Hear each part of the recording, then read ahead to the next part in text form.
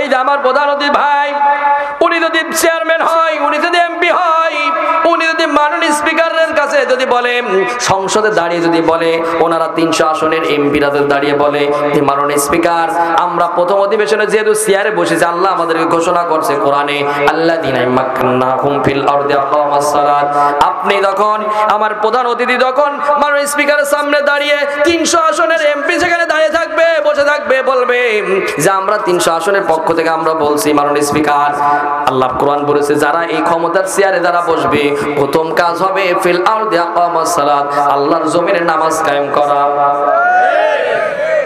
এই কথা যখন বলবে মাননীয় স্পিকার যখন বলবে, সংসদে বিল উপস্থাপনা হয়েছে, এখন আমি আপনাদের সামনে বলছি, সংসদে বিল উপস্থাপনা হয়েছে, নামাজ কায়েম করার কথা, নামাজ পড়তে হবে, এক অক্ত নামাজ কাদা করলে পাঁচশো টাকা জরিপানার মায়ের ফিরি, এই উপলক্ষে আপনাদের হা জয় যুক্ত করেছে। চান তাহলে হা জয় যুক্ত করেন।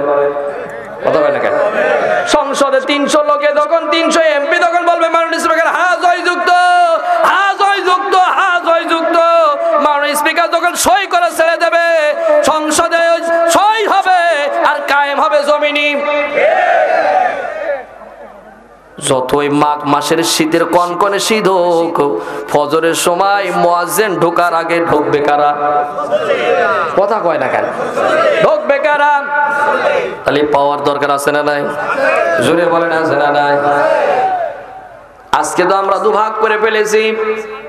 আমরা যারা মসজিদ ইমামতি করছি, আমরা বলছি যে আমরা ইমামতি করেই খাব।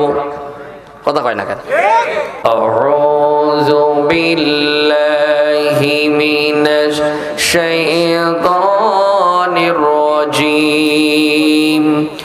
বিস্মিল্লাহি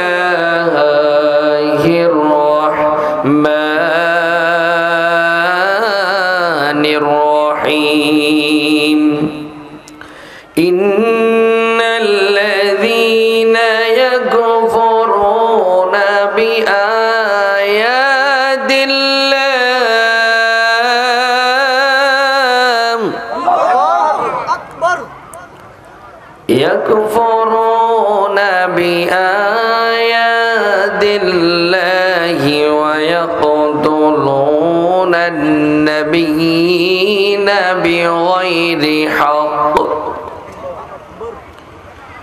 ويقتلون الذين يأمرون بالقسط من الناس ইকোদেন ইকোদেন فبشرهم بعذاب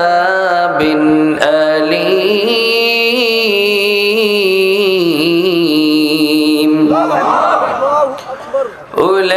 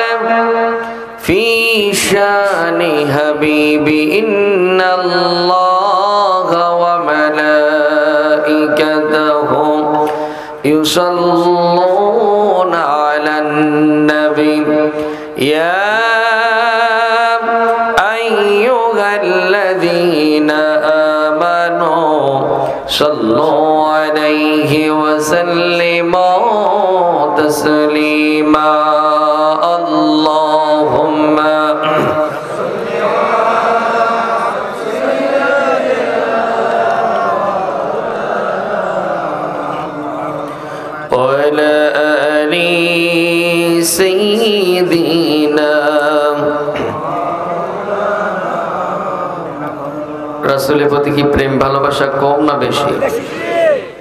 যারা বলছেন না, আপনারা কি ঘুমাচ্ছেন নাকি? রাসূলের প্রতি কি প্রেম, ভালোবাসা কম না বেশি? আরও জোরে বলেন, কম না বেশি? যদি থাকে বেশি, তাহলে কণ্ঠটাকে ছেড়ে দিয়ে পড়েন না। আল্লাহুম্মা। সাউন্ড বাড়িয়ে দেন, আর ইকো চালান হ্যাঁ?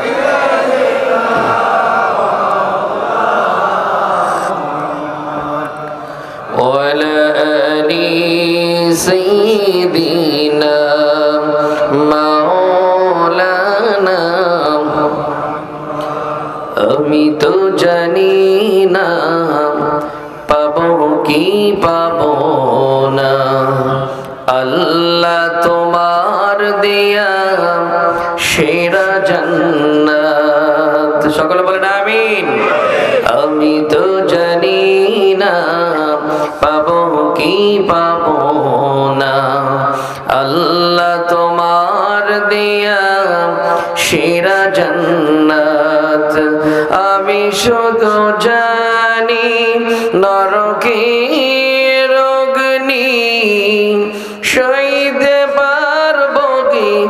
জানি না। আমি তো জানি না। পাবো কি পাবো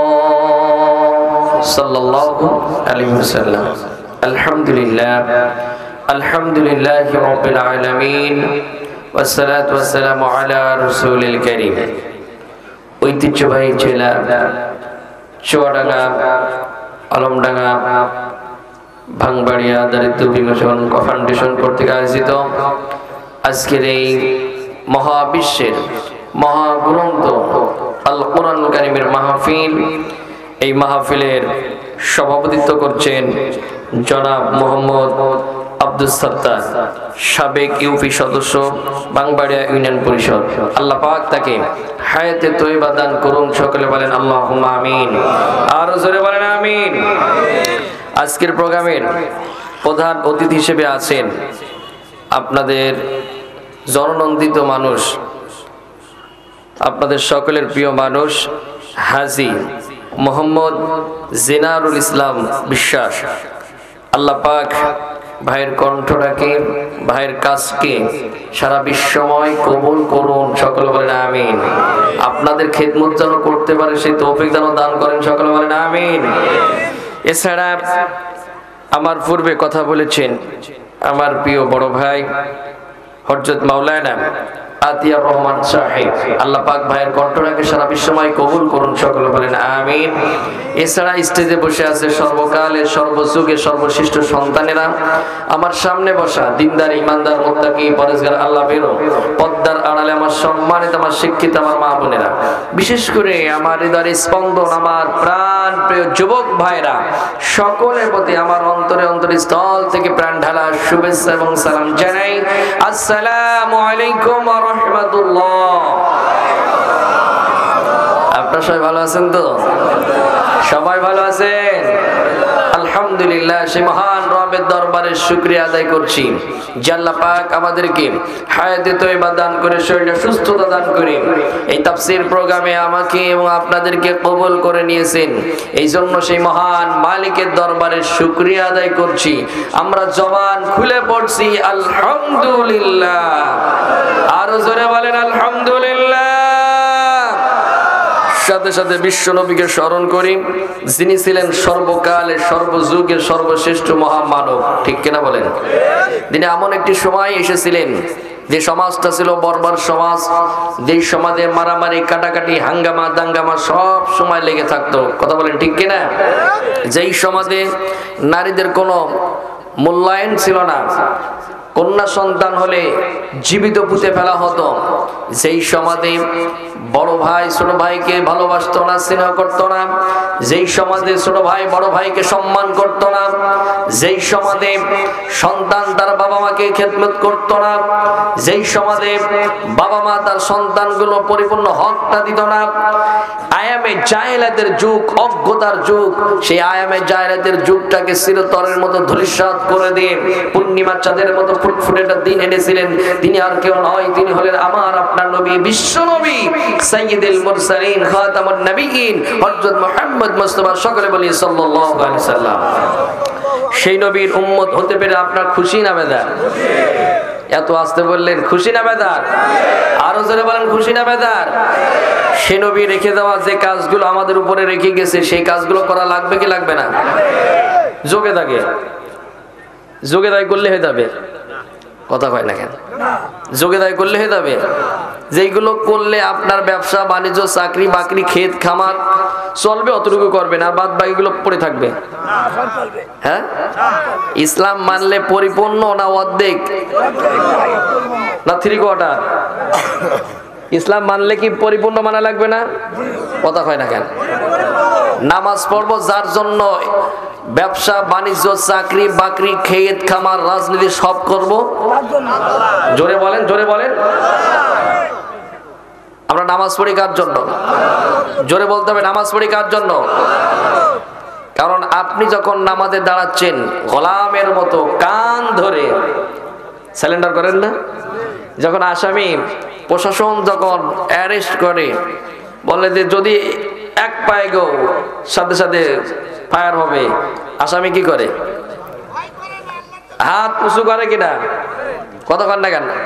হাত উঁচু করে কিনা? স্যালেন্ডার করে। এখন আমরা নামাজে দাঁড়াই। স্যালেন্ডার করি, কি করি না? কার কাছে স্যালেন্ডার করি? জোরে বলেন, কার কাছে? মসজিদে তো আমরা স্যালেন্ডার করি, র্যাবের কাছে না রবের কাছে?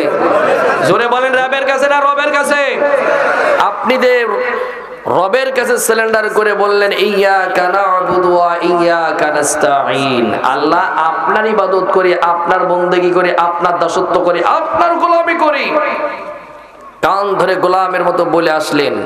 মসজিদ থেকে বেরিয়েই যদি আপনি লেলিন কালমার্স মানব প্রসিদ্ধ আইন প্রতিষ্ঠিত করার জন্য যদি আপনি সংগ্রাম করেন, আপনার নামাজ কি হবে?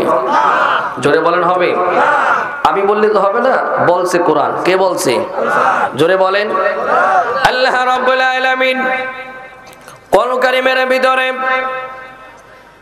সূরা বাকারার ভিতরে আল্লাহ তাআলা বলেন আফাতুমিনুনা বিবাদিল কিতাবি ওয়া তাকফুরুনা বিবাদ ফামা জাযাউ মান ইয়াফআল যালিকা মিনকুম ইল্লা খিযিয়ুন ফিল হায়াতিদ দুনিয়া ওয়া ইয়াউমাল কিয়ামা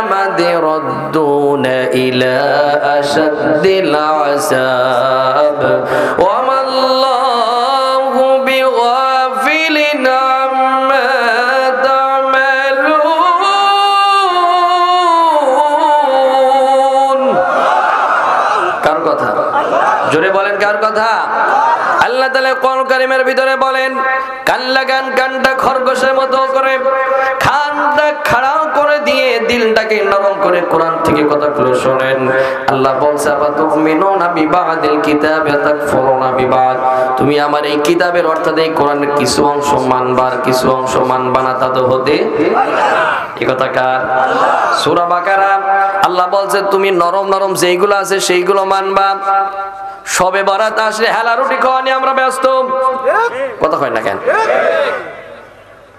সবে মিরাজ আসলে, লাইলাতুল কদর আসলে, মসজিদে জায়গা হয় না। আমার এলাকা হয় না, আপনাদের একই অবস্থা। সারা রমজানে একদিনও আসে না। ও পার্টি আমার দেখা দেয় সবে কদরের রাতে যায় না আমাদের পার্টিটা ঘাড়ে করে সামনে কাতারে দাঁড়ায়। তার মানে যারা রেগুলার মুসল্লি, ওদের কোনো চান্স নেই। আছে না নাই? আছে না নাই? আল্লাহ বলছে, না না, ওটা হবে না। নরম নরম যেইগুলো আছে, ওইগুলো মানবা হবে না। গরমগুলো মানার দরকার আছে না নাই? নরমটাও যেমন মানবেন, গরমটাও তেমন মানা লাগবে। কোরআনের জন্য আপনার সব কিছু করা লাগবে। কতক্ষণ না কেন? আরও জোরে বলেন।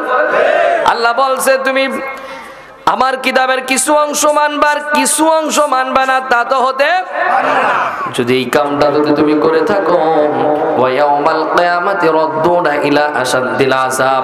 আল্লাহ বলছে, তুমি কিয়ামতের ময়দানে তোমার ওটা লাগবে কি লাগবে না? আপনার এখানে যারা আছেন সবার একদিন মারা যাব কি যাব না? সবাই মারা যাব কি যাব না? আর জোরে বলেন, মারা যাব কি যাব না? না কিছু চাচাতে ঘাট তাড়া করে বসে আছে, তোমার কাছে সারা জীবন থাকব। হ্যাঁ? সারা জীবন থাকব? এখন আছে, একটু পরে থাকতে নাও। কালকে আপনি নাও থাকতে পারেন, চোখের পলক যেটা ফেলেছেন, ওটা আবার তুলতে পারবেন কিনা, নাক থেকে যে নিঃশ্বাসটা ছেড়েছেন আবার নিঃশ্বাস নিতে পারবেন কিনা, এই গ্যারান্টি কি আপনার আছে? জোরে বলেন, আছে? যদি এই বিশ্বাস যদি আপনার থেকে থাকে, আল্লাহ বলেন ওয়ায়াউমাল কিয়ামাতি রাদ্দুনা ইলা হবে সেদিন হবে, সেদিন তোমার ওটা লাগবে। ফাআম্মা মান খাফফাত মাওয়াজিনু ফাহুয়া ফি 'ঈশাতির রাদিয়া। মাওয়াজিনু ফাউম্মুহু হাওিয়া জোরে বলেন আল্লাহু আকবার। বলছে সেদিন যাদের আমল নামাটা ডান হাতে যাবে, কোন হাতে? জোরে বলেন, কোন হাতে? আমি আপনি এখানে বসে আছি, কোন হাতে ডান হাতে নিতে চাই কিনা? কথা কয় না কেন? এখানে আমরা যারা বসে আছি, সবাই কোন হাতে আমল নামা নিতে চাই? হাত উঁচু করেন কোন হাতে? জোরে বলেন, বাম হাতে কেউ নিতে চান? হাত নামা নেবেন বাম হাতে কেউ নিতে চান? কারণ ডান হাতে গেলে আপনি যাবেন কোথায়? বলেন বলেন। আর বাম হাতে গেলে তাহলে দল করতে হলে ডানপন্থী না বামপন্থী? এইবারে তো কম চাষা ভেদালে চলে গেলেন। হিজবুল্লাহ না শয়তান?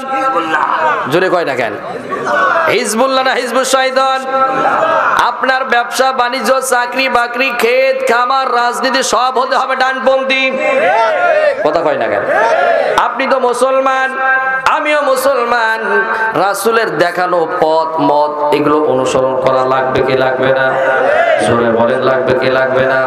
আল্লাহ পাক বলছে আমার কেয়ামত। শুধু এতটুকু শেষ নয়। আল্লাহ বলছে তোমার ওই কেয়ামতের ময়দান ওটা লাগবে। সেদিন তুমি কিন্তু ধরা খাওয়া। কথা পায় না কেন? সেদিন তোমার কিন্তু ধরা খাওয়া লাগবে। ওই দিন ধরা খেলে তোমার বাম হাতে আমল নামা তখন যাবে আপনি যাবেন কোথায়? চলে বলেন। এই যে এখন শীতের আবহাওয়া প্রায় শেষ। তারপর এখন আরামের ঘুম হারাম করে দিয়ে কারণ এখন না শীত, না গরম। এখন কিন্তু বিরাট একটা বেটার টাইম চলছে। কতক্ষণ না কেন? এখন দুপুরের পরে একটু কাইলো করে, অর্থাৎ একটু শুইলে কিন্তু ঘুম এসে যাচ্ছে। রাতেও কিন্তু ঘুম এসে যাবে, কারণ না শীত, না গরম। এই যে অবস্থাটা পার করে আপনি এখন আরামের ঘুরুম হারাম করে দিয়ে কোরআন শোনার জন্য বসে আছেন, আপনি কি যান নামে ঢোকার জন্য? কথা হয় না কেন?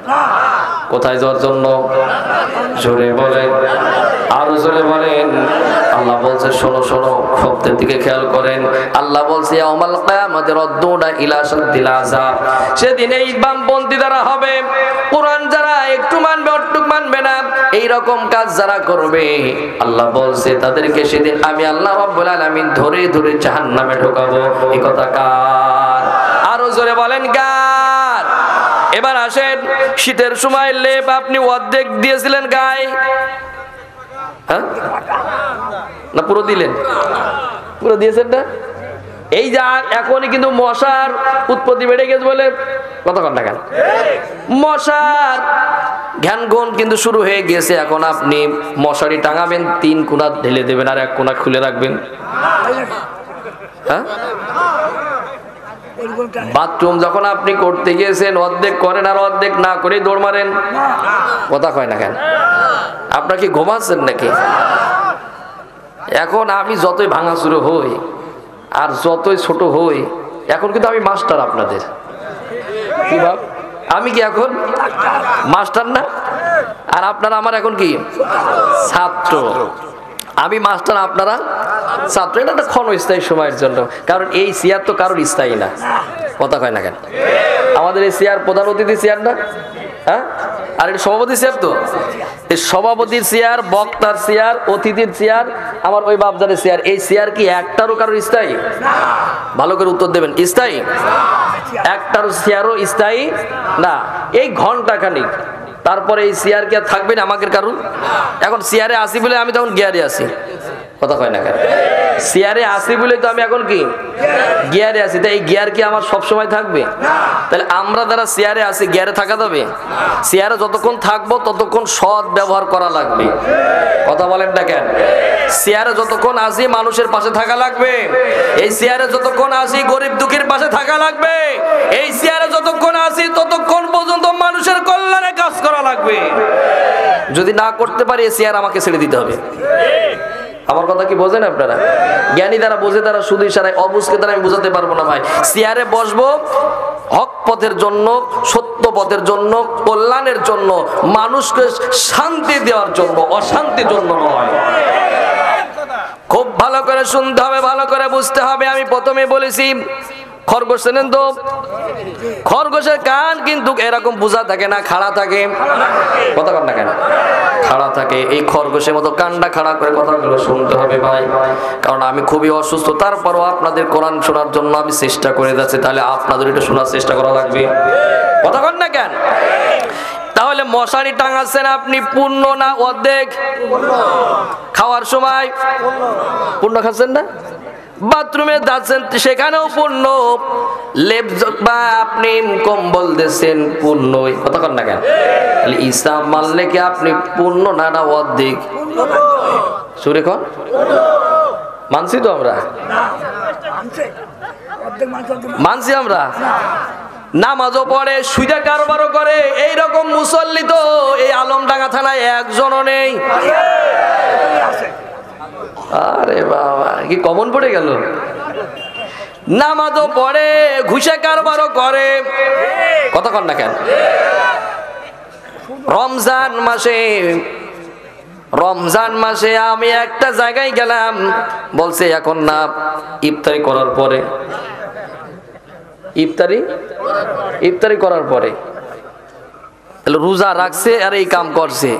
ও রোজা যদি কেয়ামত পর্যন্ত থাকে, কাজ হবে? কতক্ষণ না কেন? না, দুই একজন রাগ টাগ হচ্ছে মনে আপনাদের। মুখ টুক শুকিয়ে যাচ্ছে কেন? আপনাকে ওই কাম করেন নাকি? ওই কাম করেন নাকি? চাচা আমার দাড়ি রেখে দিয়েছে, টুপি কোন রকমই খোলে না। আল্লাহকে পঁচিশ মারছে। কথা কয় না কেন? লাকে? লাকে পঁচিশ বোঝেন তো? লাকে পঁচিশ মেরে তসবি একটা হাতে আছে। সুবান আল্লাহ বলতে ভুল হচ্ছে না কিন্তু সুদে কারবার করা থেকে তার চাই তো এলাকায় বড় পার্টি আর একজন নেই। ওই নামাজ পড়বে কেমন পর্যন্ত কাজ হবে। তাহলে কি ইসলাম পরিপূর্ণ মানছে? কথা বলেন পরিপূর্ণ মানছে?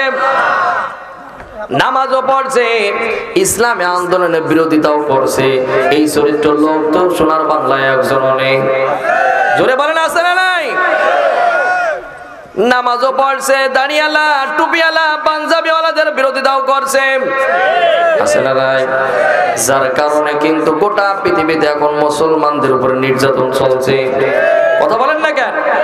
আল্লাহ রাব্বুল আলামিন বলেন না না, তোমাকে পরিপূর্ণভাবে ইসলাম মানতে হবে, পরিপূর্ণভাবে ইসলামের ভিতরে দাখিল হতে হবে। আল্লাহ পাক বলেন, ইয়া আইয়ুহাল্লাযীনা আমানু দুখুলু ফিস সিলমি কাফা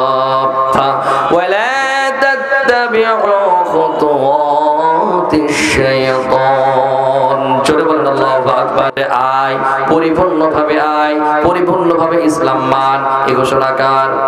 সুরে বলেন কার? এখন পরিপূর্ণ পরিপূর্ণভাবে কোরআন মানা লাগবে কি লাগবে না? সুরে বলেন, লাগবে কি লাগবে না? আপনার আল্লাহর পছন্দের বান্দা হতে হলে অবশ্যই আপনার পরিপূর্ণ ইমান আনা আল্লাহ রাব্বুল আলামিন এবার সূরা নিসা, কোন সূরা? জোরে বলেন। আমি কোরআন থেকে কথা বলছি, এখন রাগ যদি হয়ে থাকে, আমার করার কিছু নেই, বাপ। রাগ করলে আপনি আল্লাহর সাথে করেন, আমার মতো মৌলবীর সাথে করে লাভ আছে। বলেন, লাভ আছে। আল্লাহ পাক বলছে, তিলকা হুদুদুল্লাহ ومن يدع الله رسوله ادخله جنات تجري من تحتها الأنهار.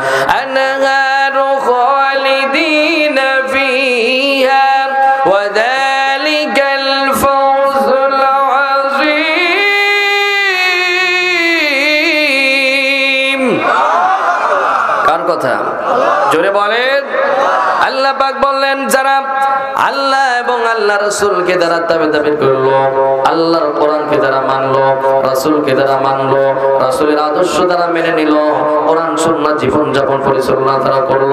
আল্লাহ পাক বলাই দখিল জান্নাত, তাদের জন্য জান্নাত আমি আল্লাহ রাব্বুল আলামিন অবধারিত করে দিলাম। এবার আল্লাহ তাআলা বলেন ومن يعص الله رسوله وتعد حدوده ادخله نارا خالدا فيها وله عذاب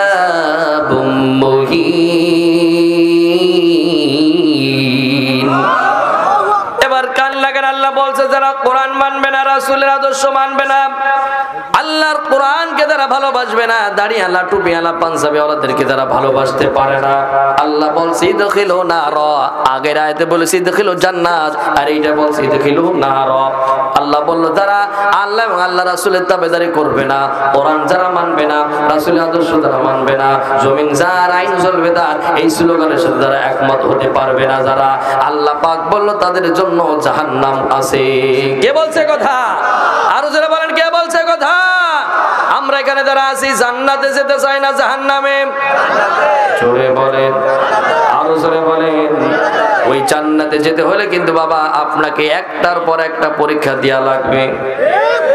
না পরীক্ষা বাদে দেওয়া যাবে। আল্লাহ আমাদের জন্য এত সুন্দর জান্নাত তৈরি করেছে।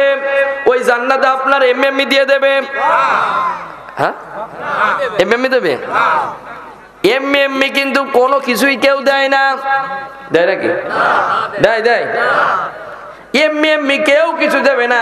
আমার আল্লাহ আপনাকে এই বিশাল জান্নাতের জন্য কিছু তো দেবে। কথা বল কিছু তো পরীক্ষা নেবে। আল্লাহ পাক বলছে, আহাসিবান নাস আইয়ুতরাকু আইয়াকুলু আমান্না ওয়া হুম লা ইফতানুন।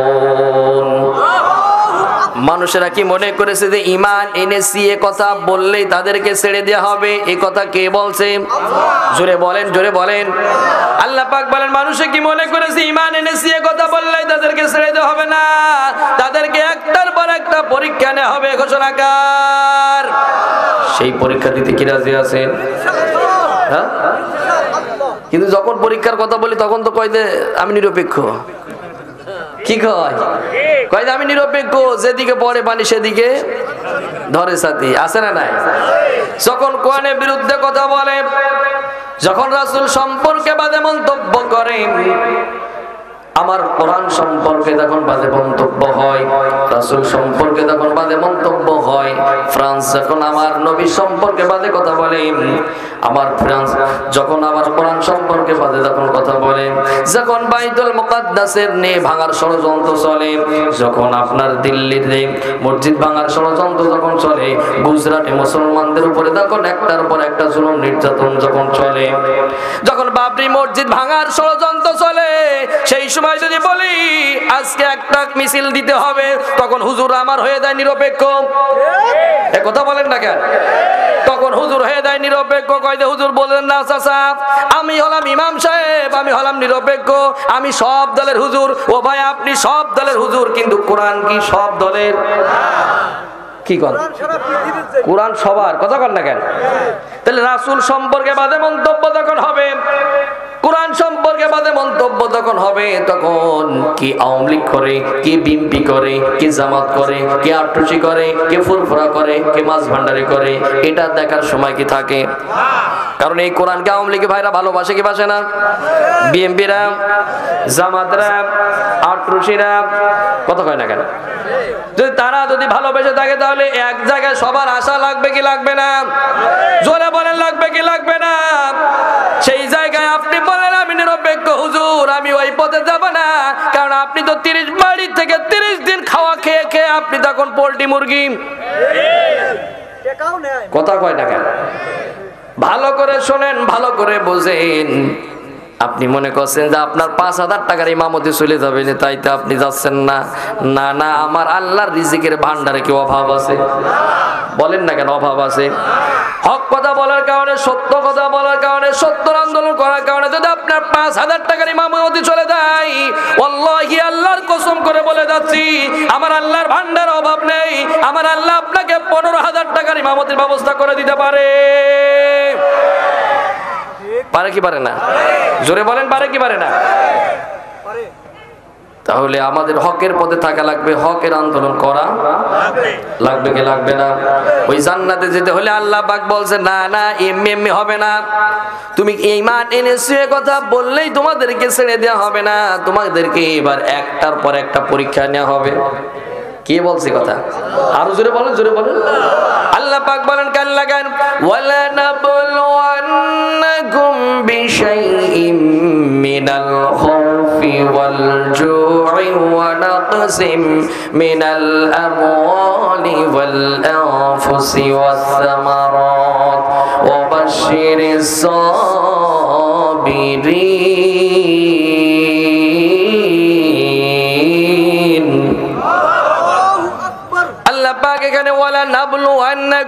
লামে তাকিদ দুনে তাকিদে বলছো অবশ্যই অবশ্যই তোমাদেরকে আমি পরীক্ষা নেব। এই ঘোষণা কার? নাম্বার ওয়ান পরীক্ষা হবে মিনাল খৌফ। ভয় দ্বারা কি দ্বারা? জোরে বলেন। শুনছেন তো না ঘুমোচ্ছেন? আলোচনা কি চলবে? আলোচনা চলবে? খুব ভালো করে শুনতে হবে মিনাল খৌফ। প্রথম ভয় দেখানো হবে আপনার খৌফ ভয় দ্বারা। জেন বুদ্ধি কথা কয় না কেন? এই কোরআনের ব্যাখ্যা পড়ে থাকেন বাপ। আপনি রাগ করেন না, কথাগুলো শোনেন। কোরআন থেকে কথা বলছি। আমার বাপ দাদা চোদ্দ পুরুষের কিস্তা কাহিনী করার জন্য এখানে আসিনি। আর আমি এখানে রাজনীতি করতে আসিনি, কারণ এই জায়গার কি ভোটার আমি? না, আমি তাকে ভোটার? না ভবিষ্যতে আমি এমপি হব, না চেয়ারম্যান হব, আমার কোনো ভোট রাজনীতি করার কোনো দরকার আছে। কিন্তু কোরআন যেটা বলছে, সেটা আমার বলা লাগবে। আর যদি বলতে না পারি, তাহলে চেয়ার ওঠার আমার দরকার। আছে, দরকার আছে? দরকার নাই। আল্লাহ পাক বলছে, মিনাল খাও ভয় দ্বারা। এই ভয় আপনার জিন বুদ্ধি নাই। তিন জায়গা থেকে আপনাকে ভয় দেখানো হবে। ওই জায়গা থেকে। জোরে বলেন। আরও জোরে। তিন জায়গা থেকে ভয় দেখানো হবে। আপনার নাম্বার ওয়ান ভয় দেখানো হবে রাষ্ট্রপক্ষ থেকে। কোথা থেকে? জোরে বলেন। আবু জেহেল রাষ্ট্রপ্রধান, আল্লাহর নবী কোরআনের দাওয়াত দিচ্ছেন কোরআনের দাওয়াত যখন আনাসে কানাসে দেওয়া শুরু হয়ে গেল, কালেমার সার্বভৌমত্বর দাওয়াত যখন দেওয়া শুরু হয়ে গেল লা ইলাহা ইল্লাল্লাহ এই স্লোগান যখন দিল, আবু জিল বললেন নতুন করে পাইলে কোথায়? আল্লাহ ছাড়া কোনো আইনদাতা নাই, আল্লাহ ছাড়া কোনো বিধানদাতা নাই, আল্লাহ ছাড়া কোনো রিজিক দাতা নাই। এই স্লোগান তুমি পাইলে কোথায়? আবু জেহেল বলল, ভাতিজা মুহাম্মদ সাল্লাল্লাহু আলাইহি সাল্লাম, তোমাকে আমরা এত ভালোবাসি, যার কারণে তোমাকে আমি আল আমিন খেতাব দিলাম। কথা হয় না কেন? ও ভাতিজা, তোমাকে আমরা এত ভালোবাসি ভুলে, আমাদের যত স্বর্ণ রৌপ্য সম্পদ যা আছে তোমার কাছে রাখি। ও ভাতিজা, তোমাকে এত ভালোবাসি বলে আমরা তোমার এত সম্মান করি, এত স্নেহ করি। কিন্তু তুমি যে দাওয়াত দিছো, ও তো আমার বাপ দাদা চোদ্দ পুরুষের ধর্মে লাতি মারছো। এ কথা কর না কেন? সিরাত ইবনে হিজাম পড়ে দেখেন, মানবতার বন্ধু মোহাম্মদ রসুল্লাহ সাল্লাল্লাহু আলাইহি সাল্লাম পড়ে দেখেন। মিলে গেলে আমার করার কিছু নেই ভাই, খুব খেয়াল করে শুনেন, আল্লাহর নবী দাওয়াত যখন দেওয়া শুরু হয়ে গেল, তাওহীদের বাণী যখন দেওয়া শুরু হয়ে গেল, রিসালাতের দাওয়াত যখন দেওয়া শুরু হয়ে গেল, আল্লাহর নবী যখন বলল, জমিন যার, আইন চলবে? জমিন বলেন, জমিন না আপনার? আমার? সভাপতির, প্রধান অতিথির, বিশেষ অতিথির, কার জমিন? জোরে বলেন কার? বলে আইনটা চলবে কি আমার? বলেন আমার। আইনটা চলবে কার? আল্লাহর আইন যেখানে আছে, শান্তি সেখানে আছে কিনা? জোরে বলেন আছে কিনা? আল্লাহ রাব্বুল আলামিন কথাই কথা বেড়ে যাচ্ছে, সূরা ইব্রাহিমের প্রথম নম্বর আয়াত আল্লাহ পাক বলেন, আলিফ লাম রা, কিতাবুন ইলাইকা লিতুখরিজান নাস মিনাজ জুলুমাতি ইলান নূর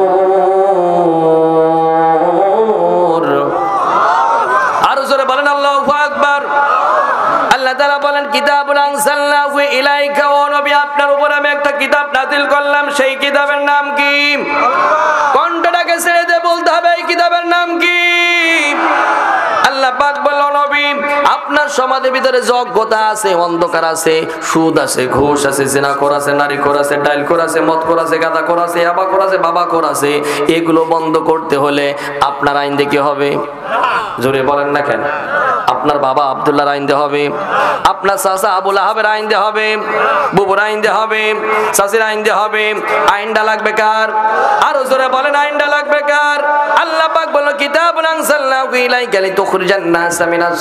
ইলান নূর। এখানে বসে আছে জুলুমাত। শব্দের অর্থ দ্বারা অজ্ঞতা অন্ধকার এক কথায় দুই নম্বর লাইনে যা আছে, সব এই জুলুমাত শব্দের দ্বারা বোঝানো হয়েছে। ও নবী, এইগুলো পরিবর্তন করতে হলে আপনার আইন দিয়ে হবে না। আইনটা লাগবে আমার কোরআনের, এই কোরআন দিয়ে তখন আপনি আপনার পরিবার, আপনার সমাজ, আপনার রাষ্ট্র তখন পরিচালনা করবেন, আপনি দেখতে পাবেন, মেনা জুলুমাত ইলান নূর। জুলুমাত ডিলেট হতে থাকবে আর আপনার সমাজটা আলোয় আলোকিত হয়ে যাবে। একটু ভালো করে বোঝাই। এখন রাতে যদি আপনি একা একা যান, রাস্তায় যাবেন, এই অন্ধকারে যেতে লাগলে আপনার লাগবে কি? হ্যাঁ? আলো লাগবে না? আলো বা? লাইট লাগবে। অন্ধকারে আপনি যাচ্ছেন, লাগবে এখন কি আপনার? আলো বা লাইট এখন লাইট লাগবে। কিছুদিনে যাওয়ার পরে আপনি দেখতে পেলেন এক বিষাদর সাপ এইভাবে দাঁড়িয়ে আছে। আপনি লাইট মেরে ধরে বললেন, আসসালামু আলাইকুম। বললে মানে সাপ দৌড় মারবে। দৌড় মারবে? ভালো করে বোঝেন। সাপ সো দিয়ে দাঁড়িয়ে আছে। আপনি যতই বলেন, আসসালামু আলাইকুম দুলো ভাই, সরে দাও। যাবে? বলেন, যাবে। ওই সাপ সরাতে হলে লাগবেটা কি? জোরে বলেন। হ্যাঁ? লাঠি। তাহলে আপনার এই সমাজ পরিবর্তন করতে হলে লাগবে কি? জোরে বলেন। আর এই নূর, এই আলো, অর্থাৎ লাইট হলো কোরআন, আর লাঠি হলো পাওয়ার। কথা কয় না কেন? লাঠি হলো কি? এই যে আমার প্রধান অতিথি ভাই, উনি যদি চেয়ারম্যান হয়, উনি যদি এমপি হয়, উনি যদি মাননীয় স্পিকারের কাছে যদি বলে, সংসদে দাঁড়িয়ে যদি বলে, ওনারা তিনশো আসনের এমপিরা যদি দাঁড়িয়ে বলে মাননীয় স্পিকার আমরা প্রথম অধিবেশনে যেহেতু চেয়ারে বসেছি, আল্লাহ আমাদেরকে ঘোষণা করছে কোরআনে আল্লাহ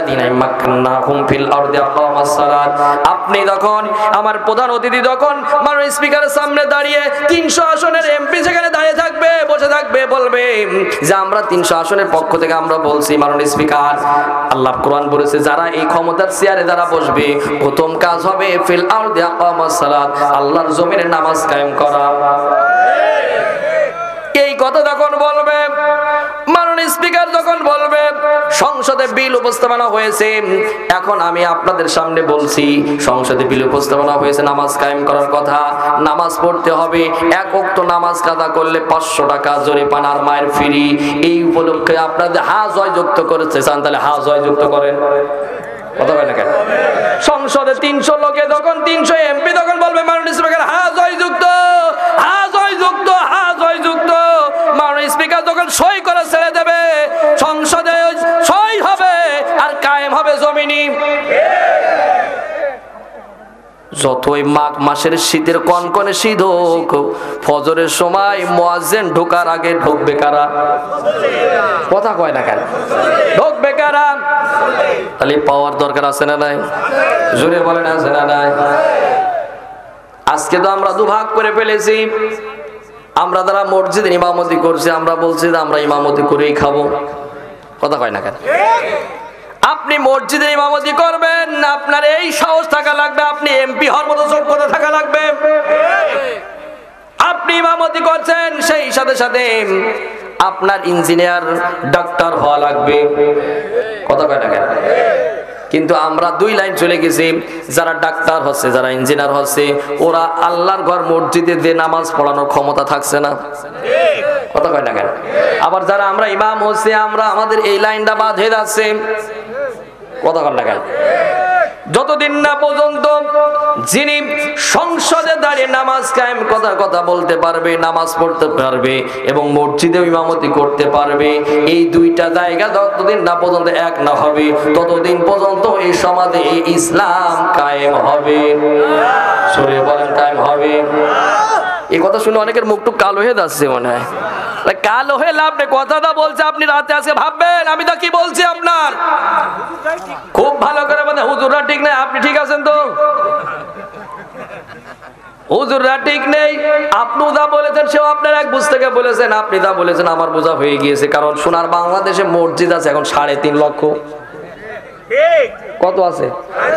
আরও জোরে বলেন। এই বাদ বাকি ঘুমোচ্ছেন আপনি নাকি? আমার ওয়াদে ফেলেতে ঘুমাচ্ছেন নাকি?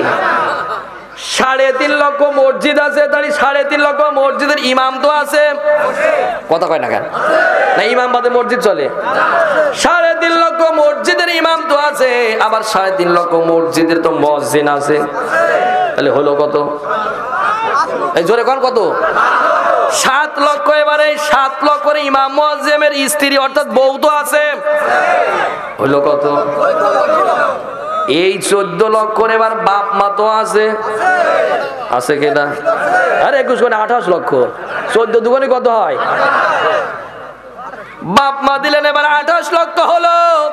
এবার এই হুজুরের স্ত্রীর ভাই বোন আছে, হুজুরের তো ভাই বোন আছে আছে কিনা তাহলে আবার ধরেন চোদ্দ লক্ষ কত হলো? হ্যাঁ? বিয়াল্লিশ লক্ষ? তার মানে আমি বুঝলাম যা, আমরা যারা আছি, এই মসজিদের সাথে যারা, আমরা যারা সম্পৃক্ত আছি, আমরাই প্রায় সোনার বাংলাদেশে এক কোটি আছি। কথা কয় না কেন? আমরা প্রায় এক কোটি আছি। এই এক কোটি লোকের দরকার নেই। এই সাড়ে তিন লক্ষ মসজিদের ইমামগুলো যদি আমরা হতে পারতাম, এই সোনার বাংলাদেশে ইসলাম কায়েম হতে চব্বিশ ঘণ্টা লাগে না। আর নিচে লাভা লাগবে? আপনি তা বলেছেন একবার খারাপ বলেননি। এই মসজিদ ইমাম সাহেব এক কথা বলে, ওই মসজিদ ইমাম সাহেব আর এক কথা বলেন। কথা বলেন না কেন? এই জায়গায় যদি আমরা না আসতে পারি, কোনোদিন ইসলাম কায়েম হবে। বলেন কায়েম হবে। এই সাড়ে তিন লক্ষ মসজিদের ইমামগুলো আমাদের এক হওয়া লাগবে, ওয়াজ করা একই লাগবে, একই দল করা লাগবে, আমরা এক একজন এক দল নিয়ে পড়ে আছি। যে যে দলে আছে সে কথা আমারটাই সত্য। কথা কয় না কেন? কিন্তু আপনার তো কমন সেন্স আছে, আপনার তো ভাবার দরকার আছে, কোন দলটা সত্য? এটা তো আপনার ভাবা লাগবে। ইমাম গাজ্জালি রহিমুল্লাহ বলতেছেন ইসলাম দলগুলো অনেক থাকবে, তার ভিতরে কোন দলটা সঠিক সেটা তোমার চিনতে হলে দেখতে হবে। বাতিলের পক্ষ থেকে কারা আঘাতপ্রাপ্ত হচ্ছে, ওই দলটাই হলো সঠিক দল। বুঝতে হবে আপনাদের। কথা বেশি বাড়াবো না। খুব ভালো করে বোঝেন, আল্লাহর নবীর চাইতে ভালো মানুষ এই পৃথিবীর বুকে আর একজনকে আছে? অতীতে নাই, ভবিষ্যতেও? ভবিষ্যতে হবে? বর্তমান আছে। সেই মানুষটারে কি কষ্ট কি কম দিয়েছে? কথা কয় না কেন? কষ্ট কম দিয়েছে? শিয়াবে তালেবে, আঠাশটা মাসের উপরে জেলখানায় থাকা লেগেছে। কথা কন না কেন? নামাজে দাঁড়িয়েছে পচা নাড়ি ভরে গেল। তার মাথার উপরে দিয়ে দেওয়া হয়েছে। কন না আমার আপনার মা মা খাদিজাতুল কুবরা, ইসলাম মেনেছে, ইসলাম ধর্ম গ্রহণ করেছে বলে তার নিজের শাশুড়ি, অর্থাৎ আল্লাহর নবীর আপন চাচা আবুল আহাব, কে? কি বলেন? বলেন, জোর বলেন। আবুল আহাবের স্ত্রী, তার নাম হলো উম্মে জামিল। কি নাম? জোরে বলেন, কি নাম? উম্মে জামিল। দেখেন, আল্লাহর নবীর উপরে অত্যাচার চলছে, জুলুম নির্যাতন চলছে, একটার পর একটা জুলুম নির্যাতন চলছে, আল্লাহর নবীর স্ত্রীর উপরে জুলুম নির্যাতন করছে। দেখেন, উম্মে জামিল আবুল আহাবকে বলল, তোমরা তো ওইদিকে আসো এইদিকে তো সামালাতে হবে, কীভাবে তাকে ধোকা দিতে হবে? আবুল আহাবের স্ত্রী উম্মে জামিল সারাদিন খাবার খাওয়ার পরে, খাবার খাওয়ার পরে যে একটু পানিটা থাকে, ওই একটু পানিটা একটা পাত্রে রাখে। তার পশু পাখি যেইগুলো নাদে শোনায়, সেইগুলো ওই একই পাত্রে রাখে। সকালবেলা যখন আমার আপনার মা খাদিজাতুল কুবরা সকালবেলা যখন উঠোনটা ঝাড় দেয়, আর আবুল আহাবের ঘরের ছাদ থেকে মা খাদেদার মাথার উপর ওইগুলো ঢেলে দেয়। এইভাবে কয়দিন চলতে আছে? নবী, বিশ্ব নবী মোহাম্মদ রসুল্লাহ এটা একদিন দেখলেন এটা একদিন দেখার পরে মা খাদিজাকে বলল, ও খাদিজা, কোনোদিন তো একটিবারও আমার কাছে কোনো অভিযোগ করলে না। মা খাদিজা বলে, ইয়া রাসূলুল্লাহ, হাবিবাল্লাহ, যেই দিন আপনার কাছে আমি কালেমা গ্রহণ করেছি, যেই দিন আপনার কাছে আমি বায়াত গ্রহণ করেছি, ওই দিন থেকে আমার জান, আমার মাল সব আমার আল্লাহর পথে আমার রাসূলের পথে দিয়ে দিয়েছি। নারায়ে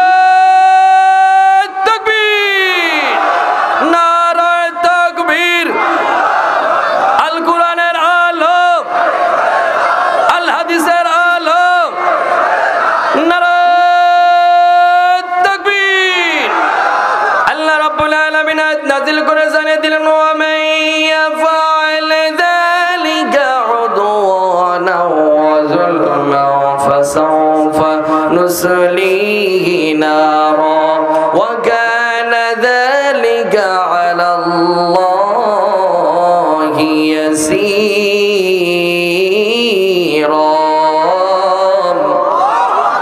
কার কথা? জোরে বলেন কার কথা? আল্লাহ পাক বলছে ওমাইয়া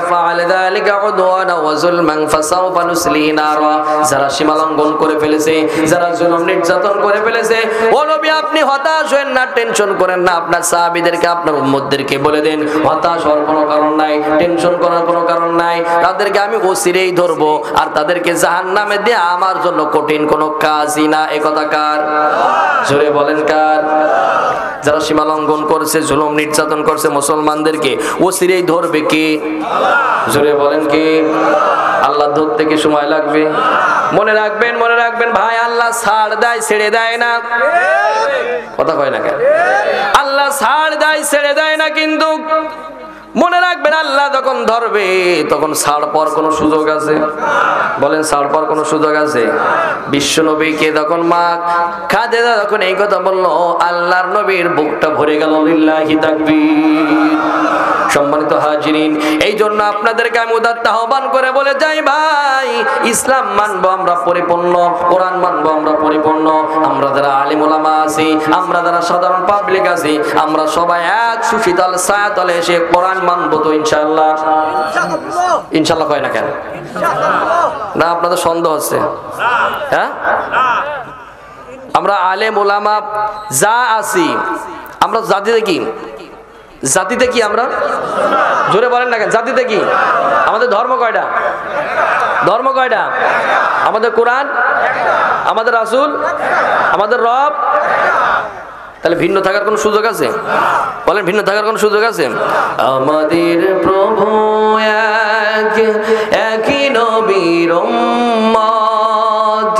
জীবন বিধান এক, ওই শিবানী কোরআন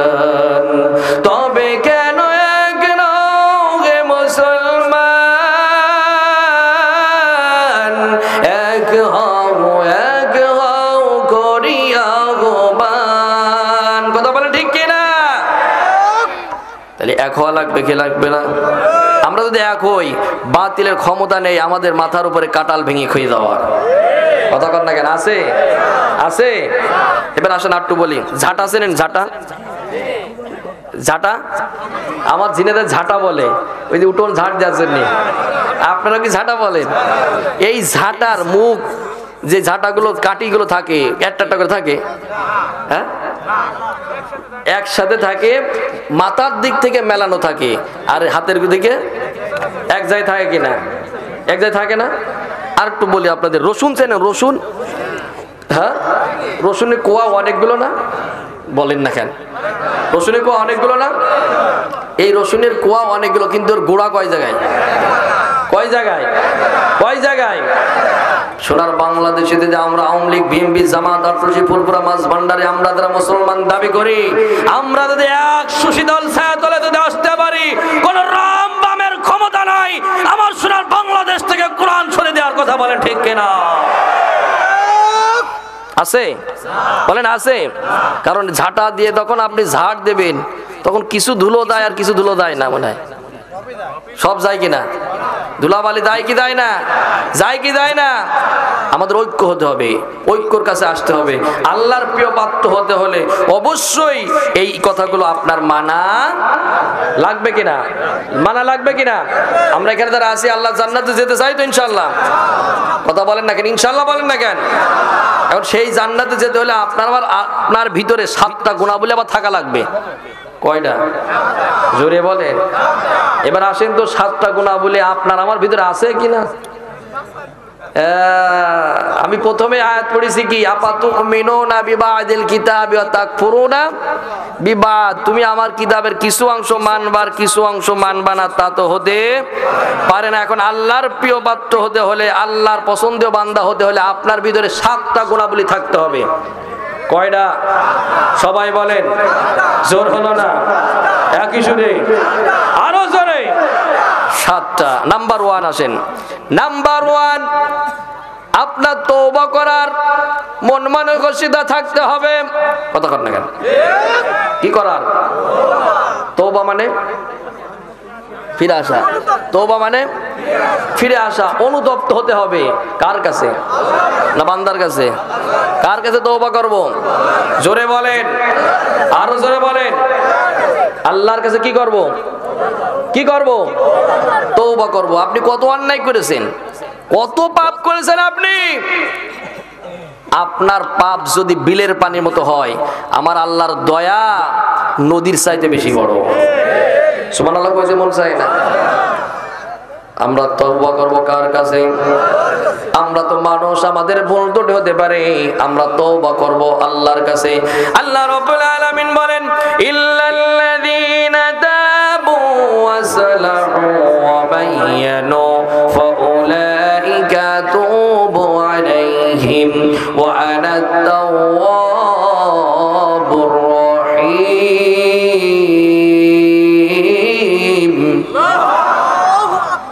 যত গভীর হয়ে যায়, আপনি ওঠেন।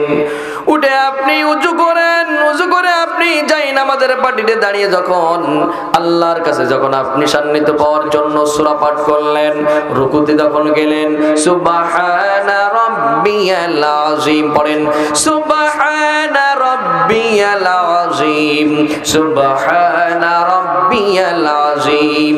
এইভাবে যখন আপনি তিনবার, পাঁচবার, সাতবার যখন পড়ার পরে চোখের পানি ফেলে ফেলে কাঁদলেন আর বললেন, রব্বুল আলামিন, জীবনে কত ভুল করে ফেলেছি, কত অন্যায় করে ফেলেছি। আল্লাহ, তুমি আমাকে ক্ষমা করে দাও, মাফ করে যাও রব্বুল আলামিন, বাকি জীবনটা কোরআনের পথে থাকব কোরআন আন্দোলনের সাথে করব যার আইন চলবে, তার এই স্লোগানের সাথে একমত থাকব। আল্লাহর কাছে যখন আপনি এভাবে কান্নাকাটি করবেন, আবার তখন সিজদায় যাবেন। সিজদায় দেওয়ার পরে তখন আপনি বলবেন রাব্বিয়াল আলা সুবহানা রাব্বিয়াল আলা এভাবে পাঁচবার, সাতবার, তিনবার বলার পরে তখন আপনি আল্লাহর কাছে সিজদায় পড়ে বললেন, রব্বুল আলামিন, জীবনে কত ভুল করে ফেলেছি, জীবনে কত অন্যায় করে ফেলেছি। আল্লাহ, তুমি আমাকে ক্ষমা করে দাও, মাফ করে দাও। আল্লাহ পাক ওই আর সাদিমে বসে বসে আর তামাশা দেখে না। ফেরেশতাদেরকে বলে, ফেরেশতারা, তোরা সাক্ষী থাক। আমার এই বান্দা বান্দির জীবনের গুনাহ কথাগুলোকে আমি আল্লাহ সব মাফ করে দিলাম। জিকির করুন, সুবহানাল্লাহ, আলহামদুলিল্লাহ, লা ইলাহা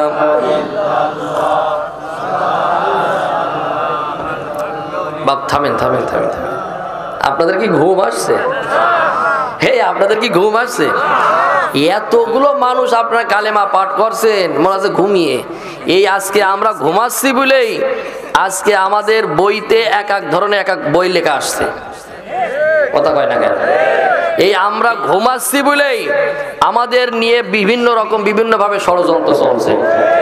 আমরা ঘুমাচ্ছি বলেই আজকে সমস্ত শক্তি দিয়ে আমরা উচ্চ কণ্ঠে আওয়াজ দিয়ে পড়তে পারব কি পারব না? পড়েন আল্লাহ আলহামদুলিল্লাহ।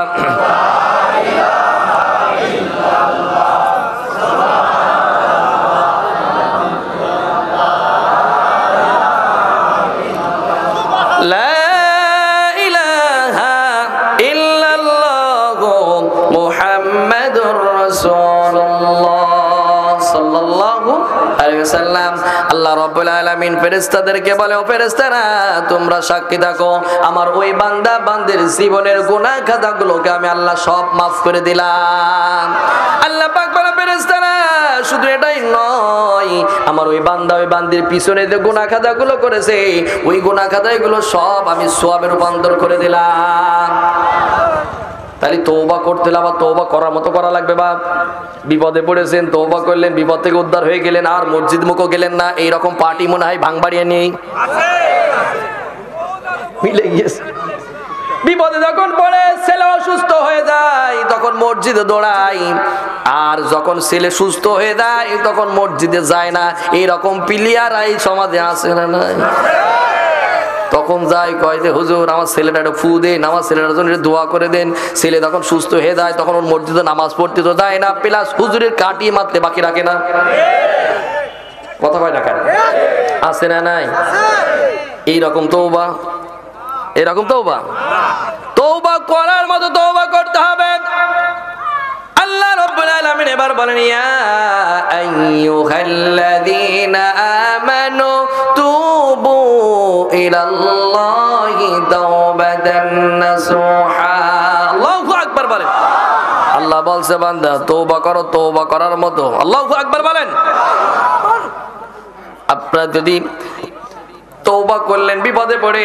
বিপদ থেকে যদি উদ্ধার হয়ে যায়, সেই সময় যদি আপনি ফিরে আসেন, সেই সময় যদি আবার ওই পূর্বের ন্যায় ফিরে দেন এবার আমার আল্লাহর কোরআন বলছে, আমি বললে তো হবে না। আল্লাহর কোরআন বলছে ইন্নাল্লাযীনা আমানু সুম্মা কাফারু, সুম্মা আমানু, সুম্মা আল্লাহ বলছে, কিছু বান্দা আছে, ও নবী, যখন বিপদে পড়ে, তখন ঈমান আনে কার কাছে? জোরে বলেন জোরে বলেন।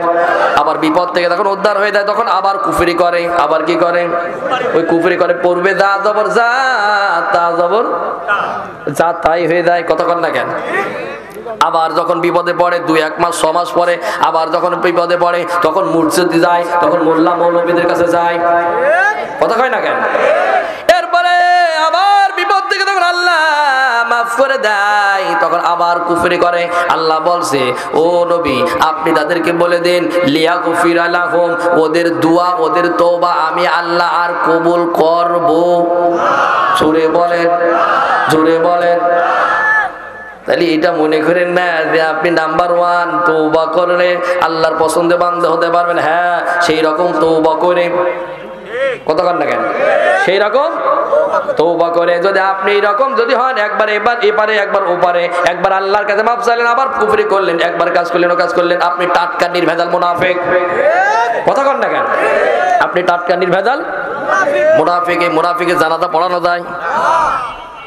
হ্যাঁ? তা আমরা হুজুরা পড়াচ্ছি কিনা হ্যাঁ? যদি জানাজা যে নামাজ পড়ে না, যে জীবনে এক নামাজ পড়েনি ওর জানাজা যদি হুজুর না যায়, হুজুরের চাকরি থাকবে না। কথা কয় না কেন? চাকরি থাকবে না? আমি দেখেছি, আমার নিজের অভিজ্ঞতা থেকে বলছি, যে জীবনে একক তো নামাজ পড়ে না, কোরআন সুন্না মেনে চলিনি। ও মরে গেলি ওর জানাজা দেওয়ার জন্য যত প্রস্তুতি নেয়, যত ডাকা ডুকা করে, যে একজন পাঁচ ওয়াক্ত নামাজ পড়ে যে ইসলামী পদে ছিল ও মরে গেলে অত প্রস্তুতি নেয় না। ও মরে যাওয়ার সাথে হুজুর কোনে আছে হুজুরে ডাকো, এ করো, ও করো ও করো। কয় কথা- কয় না কেন? বলে কি, বলে কিনা এখন ও মরে গিয়েছে, বেনামাজি মোরাফিক মরে গেলি জানাজা পড়ানো যাবে? হ্যাঁ? এখন তো জানাজা তো আমাকে পড়ানো লাগছে। কথা কর না কেন? জানাজা পড়া লাগছে না? ভাই, দেশ ডিজিটাল না আমাদের? কথা কর না কেন? এই দেশ ডিজিটাল না? তাহলে আমরা হুজুররাও কি? আমরা হুজুররাও কি? ও নামাজ পড়িনি, ও ইসলামের সাথে গাদ্দারি করেছে, ওর বিনা, ওর তো জানাতে এখন পড়াতে হচ্ছে, যেহেতু আমি এখন ডিজিটাল হুজুর, তাহলে ওরে বিনা উজুতে জানাজা পড়াতে হবে। কি উজুতে? জোরে বলেন। বিনা উজুতে ওর জানাজা পড়াতে হবে, কারণ আমি মৌলবী যদি উজু করে ওর জানাজা পড়াই সাক্ষী দিয়ে আসি, আল্লাহ বলতে তোর মতো টাটকানির ভেতাল মুনাফেক আর কেউ হয় না। আবার কব ওর পিছনে নামাজও হবে না। পিছনে তখন আবার ওর কবরে তখন থুয়াশা হচ্ছে, তখন সাধারণ পাবলিক কাছে যায় হুজুরি কাজ দাও হুজুরি কাজ দাও হুজুর একটু মাটিটা পড়ে দেন, হুজুর একটু থুয়ার সময় দেন, বিসমিল্লাহ কি আলামিল্লা দেন মানে কত বড় সাক্ষী দিয়ে আসছি, দেখেন আমরা এখানে। আমরা মৌলবীরা দানি যে ওর জীবনে একক তো নামাজ পড়িনি। সারা জীবন কোরআনে বিরোধিতা করেছে। সারা জীবন দাড়িয়ালা টুপিয়ালা পাঞ্জাবি আলাদা বিরোধিতা করেছে। আর ও এখন মরে গেছে, ওরা এখন কবরে দেওয়ার সময় বলছি, বিসমিল্লাহ আলা মিল্লাত রসুল্লাহ রসুল, সারা জীবন আপনার দল করে গেছে, আপনার মত গ্রহণ করে গেছে, আপনার আদর্শ গ্রহণ করে গেছে। এখন মরার আগেও ছিল, মরার পরও তোমার কাছে হয়ে গেলাম। আল্লাহ নবী বলে, কি রে? তুই মরার আগে ছিল ও বাতিলের বিরুদ্ধ, বাতিলের পক্ষে ছিল, বাতিলের স্লোগান দিয়েছে, আর মরার পরে মরা টানবো আমি? কথা কয় না কেন? আর আমি মৌলবী যদি ওই কথা বলে দিয়ে কবরে ছোয়াসি আমার পিছনে নামাজ হবে। জোরে বলেন, হবে। রাগ হচ্ছে? কষ্ট হচ্ছে? রাত বারোটা বাজ দিয়ে শেষ করে দিই। আলোচনা চলবে তো? চলবে? কয়টা পর্যন্ত? সার রাত। ওয়াজ চলুক? ওয়াজ চলুক? হুজুর চলবে। সময় দিয়ে শেষ করে দেবেন, ইনশা আল্লাহ। ইনশা এবার আসেন নাম্বার ওয়ান। তাহলে তৌবা করার মতো তৌবাকারী হতে হবে। আল্লাহর পছন্দীয় বান্দা হতে হলে, আল্লাহর কাছে প্রিয় বান্দা হতে হলে, আল্লাহর জান্নাতে যেতে হলে প্রথম নম্বর আপনার আল্লাহর কাছে পছন্দীয় বান্দার ভিতরে প্রথম শর্ত হলো আপনার তৌবা করা। কি করা? জোরে বলেন। তাহলে এখানে যারা আছেন তৌবা করবেন তো? করবেন তো? শুধু পুরুষরা করবে মহিলারা করবে না? হ্যাঁ? মহিলারা করা লাগবে কিনা আমার মা বোনেরা যারা আছো, তোমাদেরও কিন্তু তৌবা করা লাগবে। শুধু ওয়াজ শুধু পুরুষের জন্য করলে হবে না, মা বোনদের জন্য করা লাগবে। কথা বলেন না কেন? কারণ ক্ষমতার চেয়ারে আমার মা বোনেরা এখন এই কথা কন না কেন? ক্ষমতার চেয়ারে কিন্তু আমার মা বোনেরা মাননীয় প্রধানমন্ত্রী মহিলা, স্পিকার মহিলা, বিরোধী পার্টির নেত্রী মহিলা। তাহলে ওয়াজ আমার মা বোনদের আগে করা লাগবে। তা না হলে কিন্তু আমার ভাত আরাম কতক্ষণ না কেন? ও মা বোনেরা, তোমাদেরকে আমি বলে যাই তৌবা তোমার করা লাগবে। তৌবা করার মতো তৌবা করতে হবে। জীবনে কত ভুল ত্রুটি করে ফেলেছো, স্বামীর খেদমত করনি, সন্তানকে ভালো রাস্তায় নিয়ে আসতে পারোনি। আজকে তৌবা করে স্বামীর খেদমত করা লাগবে। কথা কয় না কেন? স্বামীর খেদমত করা লাগবে কি লাগবে না? পাঁচ ওয়াক্ত নামাজ পড়া লাগবে কি লাগবে না? সন্তানগুলোকে দিনের রাস্তায়, দিনের আন্দোলনের পথে নিয়ে আসা লাগবে কি লাগবে না? কারণ মাই পারে একটা স্বামীকে, স্ত্রী পারে একটা স্বামীকে দিনের রাস্তায় নিয়ে আসতে। কথা কয় না কেন?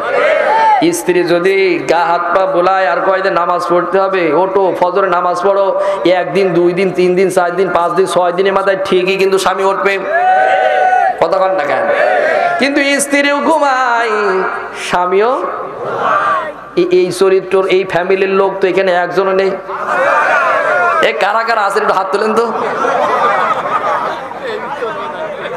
তাহলে এ, এ- ওয়াজ দিয়ে কোনো লাভ নেই সবাই তখন ভালো, তাহলে তার হাত ওয়াজ দেওয়ার দরকার আছে। হ্যাঁ? হুজুরাতে নামাজ পড়ে না, ওর হিসাব ও দেবে। ওর হিসাব ও দেবে। খুব ভালো করে শোনেন, ভালো করে বোঝেন, ও বোন। তুমি ওটো শীতের সময় আমার ভাইয়ের জন্য একটু গরম পানি করে দাও। দিয়ে তার যাকে, তুমি জকে তার পানিটা দিয়ে বলে তো ওটো উঠে গরম পানি দিয়েছি।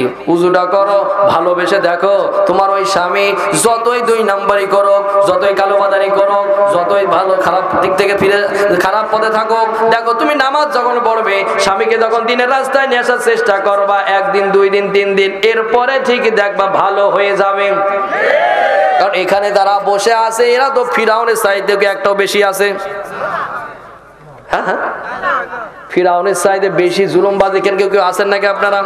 এই স্টেজ থেকে শুরু করে এখানে যারা আছে, কেউ আছে নাকি? আছে কেউ? ও বোন, তোমাদেরকে আমি বলি ও মা, তোমাদেরকে বলি, তওবা করে ফিরে এসে দিনের রাস্তায় আসো, সন্তানগুলোকে দিনের রাস্তায় নিয়ে আসো, আর মেয়ের সংসারগুলো ভেঙো না। আছে না নাই? মেয়ের সংসার ভাঙা মহিলা নেই মনে হয়? আছে না নাই? মেয়ের সংসার ভাঙা মানে আলাদা করে দেয়া। কথা কয় না কেন? কি করে দেয়া? আলাদা করে দিয়া। মেয়ের সংসারটা আলাদা করে দিচ্ছে মেয়ে আলাদা করে দিয়ে বলছে, একা খা, আলাদা খা, জামাইরে নিয়ে খা, শ্বশুর শাশুড়ি খেদমত করার দরকার।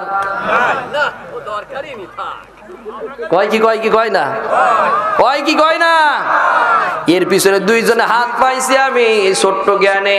এক নম্বর হলো ওই মেয়ের মা আর মেয়ের বড় বোন। এই লাইন থাক, এই বলব? বলব? এই সংসার ভাঙার পিছনে, আলাদা হওয়ার পিছনে এই দুইজনের লোক হাত তামে বেশি বালাম। বড় বোন ফোন দিয়ে বলে, তুই কি আমার থেকে শিখতে পারিস না? দুই দিন বিয়ের দুই মাস পরে তোর দুলো ভাইরে কীভাবে আলাদা হলাম? কথা কয় না কেন? ও বোন, এই চরিত্র দ্বারা আছে তৌবা করো। কি করা লাগবে? জোরে বলেন জোরে বলেন। তোবা শুধু এই জায়গায় না, তোবা আপনার সব জায়গায় করা। কথা বলেন না কেন?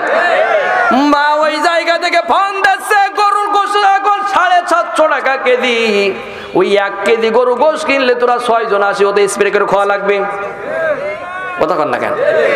আর তোরা যদি আলাদা থাকিস, আমার জামাই আর তুই, হাফ কেজি তুই খাবি, আর আমার জামাই হাফ কেজি খাবে। কথা কথা কেন? কত কায়দায় যে বলে চলে যাচ্ছে, এই কাজ যারা করছ বোন, ও মা, এই কাম যারা করছ, এখনও সময় আছে, এখনও ফিরে আসো তৌবা করো কার কাছে? জোরে বলেন, আরও জোরে বলেন।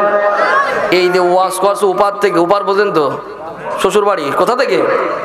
এই যে বোনের আমার ওয়াজ করেছে দুই মাথা দুই মাথা ওয়াজ করেছে, এবার বোন আমার একেবারে ফুলতে ফুলতে এখন কোল বালিশ কথা আমার ভাই তখন অফিস থেকে আসছে, মাঠ থেকে তখন যাচ্ছে, ব্যবসা বাণিজ্য থেকে তখন যাচ্ছে, বাড়িতে দেখে দে বই না আমার একেবারে ফুলে বাস। কথা কর না কেন? বলছে, কি ব্যাপার? মুখ আর হোম কেন? কছে তোমার সংসারে থাকাই যায় না। তোমার বাপ ভালো না, তোমার মা ভালো না, তোমার বোন ভালো না, তোমার ভাই ভালো না। একটার পর একটা এবার লকব দিয়েই যাচ্ছে, ভাইও দেখছে যে অনেক শখ করে বউ একখান পাইছি। এখন যদি এদিকে এদিক হয়ে যায়, তাহলে তো খবর খারাপ। কথা কর না কেন? কারণ আমার সোনার বাংলাদেশে ইফটিজিং এর মামলা আছে না নাই? হ্যাঁ? মহিলাদের ইফটিজিং করলে মামলা হয়, পুরুষ ইফটিজিং হয়। পুরুষ ইফতিজিং হয় না? তা মামলা হয়। এই ক্যাম্পের ইনচার্জ আছে, দেখেন ওনার কাছে মামলা যদি যায় ইফতিজিং মহিলাদের ইফতিজিং মামলাটাই যায়। কতক্ষণ না কেন? ভাই, আমার ভয় আছে। সকালবেলা বউরে হাত পা বুলে বলে যে, ঠিক আছে দেখবানে কাল সকালবেলা? সকালবেলা উঠেই, ভাই, আমার পারে বলছে, বাপরে বলছে, সংসারে আমি থাকব। আপনারা বলেছেন, আমি বলিনি বলে। থাকব? না। সংসারে আমি থাকব না। আলাদা করে দাও। এখন বাপ মা দেখে যে ছেলে, এখন বিয়ে দিয়ে দিয়েছে, এখন তো ছেলে আমার পর হয়ে গিয়েছে। কথা কর না কেন? ছেলে কি হয়ে গেছে? পর হয়ে গেছে, কিন্তু ছেলে কি পর হয়েছে? বলেন পর হয়েছে। যেই বাপ মা আপনারে এত কষ্টর পর কষ্ট করে করে লালন পালন করে, একটিবার ভেবে দেখো, আপনার সন্তান যখন হবে, এই সন্তানটাকে কত ভালোবাসছেন আপনি, আপনার বাবা মাও কিন্তু আপনাকে ওইভাবে লালন পালন করেছে। আমার ছোট্ট মেয়ে আছে, চার বছর বয়স, ও যা জ্বালায়, যখন যা লাগবে তাই দেয়া লাগবে, না দিলে তো ফাটিয়ে ফেলবে, কারণ মেয়ে তো। মেয়েরা এমনি সবসময় বাপ ভক্ত হয়ে থাকে। তাহলে আমার বাবারও আমার কিন্তু আমি ছোটবেলায় এরকম জ্বালাইছি। কথা কর না কেন? আমার বাপ মাকে ফেলে দিয়েছে? আমার এই সন্তানটাকে আমি ফেলে দিয়েছি। আপনার সন্তানকে আপনি ফেলছেন না, তাহলে আপনার বাবা মা আপনাকে ফেলেছে। বলেন ফেলেছে। তাহলে বিয়ে করার পরে আপনি বাপ মারে কেমনে ভুলে গেলেন? কথা কয় না কেন? আমি জানি অনেকের এই কথা এখন সহ্য হবে না নে। সহ্য হচ্ছে? রাগ হচ্ছে? না, দু একজন মুখ হুম করে বসে আছে। ও চলছিল একদিকে, আবার কোন দিকে গেল? এই চিন্তা নিয়ে আবার উল্টো পাল্টা ভাবছেন নাকি? শোনেন, তোবার ব্যাখ্যা করতে যে আমার সব এখন বলা লাগবে। শুনবেন তো। বলব বলব? যেই বাপ মা আপনাকে এত কষ্টের পর কষ্ট করে করে লালন পালন করেছে, আপনি একটু ভেবে দেখেন আপনাকে বিশেষ ক্যাডার করতেছে, আপনার ডাক্তার বানাতে যে আপনার ইঞ্জিনিয়ার বানাতে যে আপনার কামিল পাস করাতে যে আপনার অনার্স, মাস্টার্স করাতে যে আপনার বাবা মা ভালো কাপড় সুড় পরতে পারেনি। অনেক সময় আপনার বাবা না খেয়ে থাকা লেগেছে, আপনার মার না খাওয়া থাকা লেগেছে, বাজার করিনি, যেই টাকাটা আমার ছেলের ফর্ম ফিলাপে দিতে হবে রে, বাজার না করে টাকাটা আপনার জন্য দিয়েছে। আর ছেলে এখন বিয়ে করেছে, এই বইয়ের কথাই হারাম করে বাপ মার এখন ভুলে গিয়েছে, এইরকম কুলাঙ্গার সন্তান আছে না নাই? শ্বশুর শাশুড়ি যখন আসে, বাজারে সবচেয়ে ভালো মাছটা কেনে ভালো বাজার ঘাটটা করে আপনি করেন, আমার কোনো দুঃখ নেই, আপনি কেন শ্বশুর শাশুড়ি ভালোবাসবেন না? এই ওয়াজ যেন আবার মনে করেন না যে শ্বশুর শাশুড়ি বলতে ভালোবাসতে বলছে না। না, আমি শ্বশুর শাশুড়িকে ভালোবাসতে বলছি, কিন্তু আগে বাপ মা। কথা কয় না কেন? আগে আপনার বাপ মা, তারপরে আপনার শ্বশুর শাশুড়ি কারণ আপনার বাপ মা আপনার জীবন করে দিয়েছে। আপনার শ্বশুর শাশুড়ি আপনার তো রেডিমেড পেয়েছে। খুব ভালো করে বোঝেন ভালো করে বোঝেন। মা আমার এখন ঘরের কোনায় পড়ে থাকে। মায়ের সামনে থেকে আঙুল, আপেল, কমলা, বেদানা ঝাঁকাতে জাকাত নিয়ে চলে যায় শাশুড়িকে খাওয়াচ্ছে শাশুড়িকে খাওয়াচ্ছে।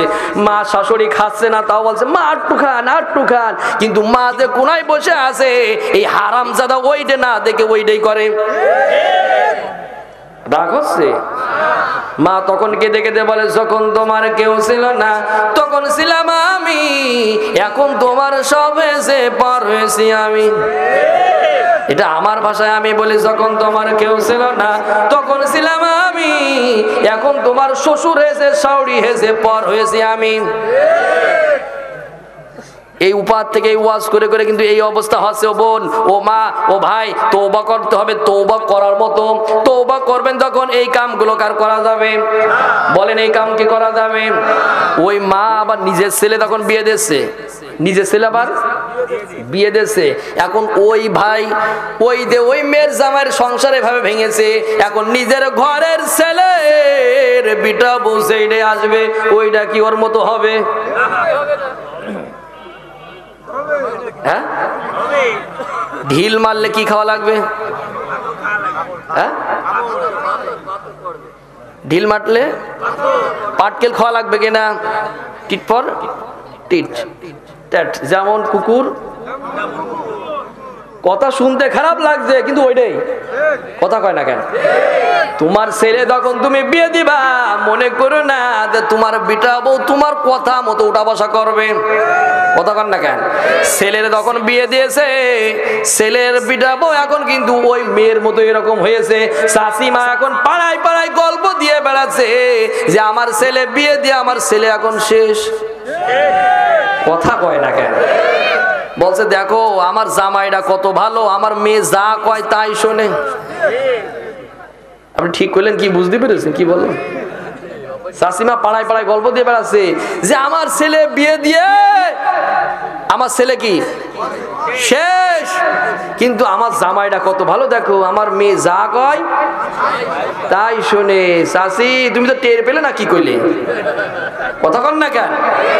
ও বোন, ও মায়েরা ভাইরা তারা আসো তোমাদের গোদার আহ্বান করে বলে যাই তৌবা করব এমন ভাবে তৌবা করব, মৃত্যুর আগ পর্যন্ত আর দুই নম্বর রাস্তায় যাব না। কারা কারা রাস্তায় আছেন তো হাত তুলে মন রবকে দেখায় দেন। নারায় নারায় তাকবীর। আল কোরআনের আলো। আল হাদিসের আলো তাকবীর। নাম্বার ওয়ান গেল, কয়টা? কয়টা গেল? কয়টা গেল? এবার আসেন দুই নাম্বার তাহারাত কি? এই সাতটা পয়েন্ট শুনবে তো না শেষ করে দেবো? বারোটা বেজে গেছ তো। চলবে? এবার দুই নম্বর তাহারাত পবিত্রতা হওয়া লাগবে, কি হওয়া লাগবে? জোরে বলেন, উজু করলে পবিত্র হয়? কতক্ষণ না কেন? পবিত্রতা হতে হলে আগে এই জায়গা পবিত্র করা লাগে। কথা বলেন না কেন? এই জায়গা পবিত্র হওয়া লাগবে আগে। উজু তো পরের বিষয়। হ্যাঁ এই তো ভালো বুঝে ফেলেছেন। পবিত্রতা, ভিতরে একটা, বাইরে আর একটা পবিত্রতা না থাকলে আপনার কোনো আমল গ্রহণযোগ্য হবে। হবে। আর এই পবিত্রতা হতে হলে, আমল গ্রহণযোগ্যতা করতে হলে হালাল খাওয়া আগে লাগবে। কি খাওয়া? জোরে বলেন। খাচ্ছি তো আমরা। কি খাচ্ছি? জোরে বলেন। আমি হুজুর কি বাদ যাচ্ছি? আমি হুজুর বাদ যাচ্ছি। আমারও কত বাড়ি যে সুদ খায়, তারও বাড়ি খাওয়াচ্ছে। কথা কর না কেন? যে ঘুষ খায়, তার বাড়ি আমার খাওয়াচ্ছে কি খাওয়াচ্ছে না? তাহলে আমি হুজুর কি বাদ পড়ছি? গত বছর টাঙ্গাইল, গোপালপুর, জামতলা মাহফিল ছিল আমার। বলব? রাগ করবেন না তো? টাঙ্গাইল, গোপালপুর, জামতলায় আমার মাহফিল ছিল, যেই বাড়ি আমি খেলাম, ওই এলাকার সব চাইতে বড় সুদ ব্যবসায়ী তার বাড়ি আমার খয়েছে সুমান আল্লাহ নাকি? এখন অল্লাহ আল্লাহ কসম করে বলছে, আমি জানি না যে ইনি সুদ খায়। ইনি যে সুদ খায়, এটা কিন্তু আমি জানি না। কিন্তু এখন আলোচনা দিয়ে শুরু করেছি মনে হয় তিরিশ থেকে বত্রিশ মিনিটের মাথায়। সুদের বিরুদ্ধে তখন ওয়াজ শুরু হয়ে গিয়েছে। চাষা আমার ঠিক মাঝখানে ছিল। চাষার একেবারে জায়গায় ঘা লেগে গিয়েছে। এখন চাচা রেগে উঠেছে এই জন্য আমার সাথে যারা ছিল, দু চারজন যে সব মানে ওই বাসার পাশে যারা ছিল আর কি কমিটি দ্বারা ছিল, চাচা মনে করছে ওই কমিটির লোকজন মানে আমার বলে দিয়েছে যে আপনি যে বাড়ি খাচ্ছেন, এ বাড়ি সুৎখোর এই জন্যই চাচার মিজাজ খারাপ হয়ে গেছে বেশি। যত রাগ সব আমার উপরে। উনি ওই জায়গায় দাঁড়িয়ে টাঙ্গাইল গোপালপুর থানার ওসির কাছে ফোন দিয়েছে। বলছে এখানে হুজুর সব রাষ্ট্রদ্রোহী কথা বলছে, ও বলছে, এ বলছে। ওসি সাহেব সাথে সাথে ফোর্স এইরকম ওয়াজ চলছে।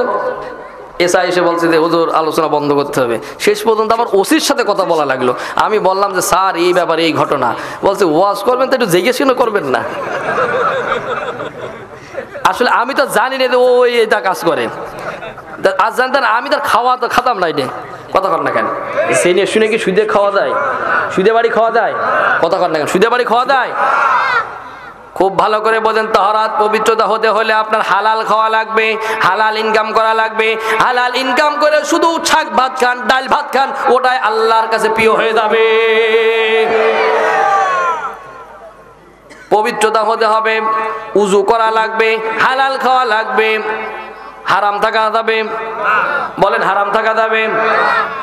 যেহেতু বারোটা পার হয়ে গেছে, এবার সংক্ষেপে গুলো শুনতে হবে। এবার আসেন তাকওয়া। কি? জোরে বলেন জোরে বলেন। তাকওয়া মানে কি? হ্যাঁ? আল্লাহকে স্মরণ করা, আল্লাহকে ভয় করে। কাকে ভয় করব আমরা? জোরে বলেন। আল্লাহর প্রিয় পাত্র হতে হলে সাতটা গুণাবলী আপনার ভিতর থাকার ভিতরে তিন নম্বর গুণাবলী থাকতে হবে। দুনিয়ায় কারোর কাছে মাথা নত নয় একজনের কাছে মাথা নত করতে হবে কার কাছে? এক হাত উঁচু করে বলেন, কার কাছে?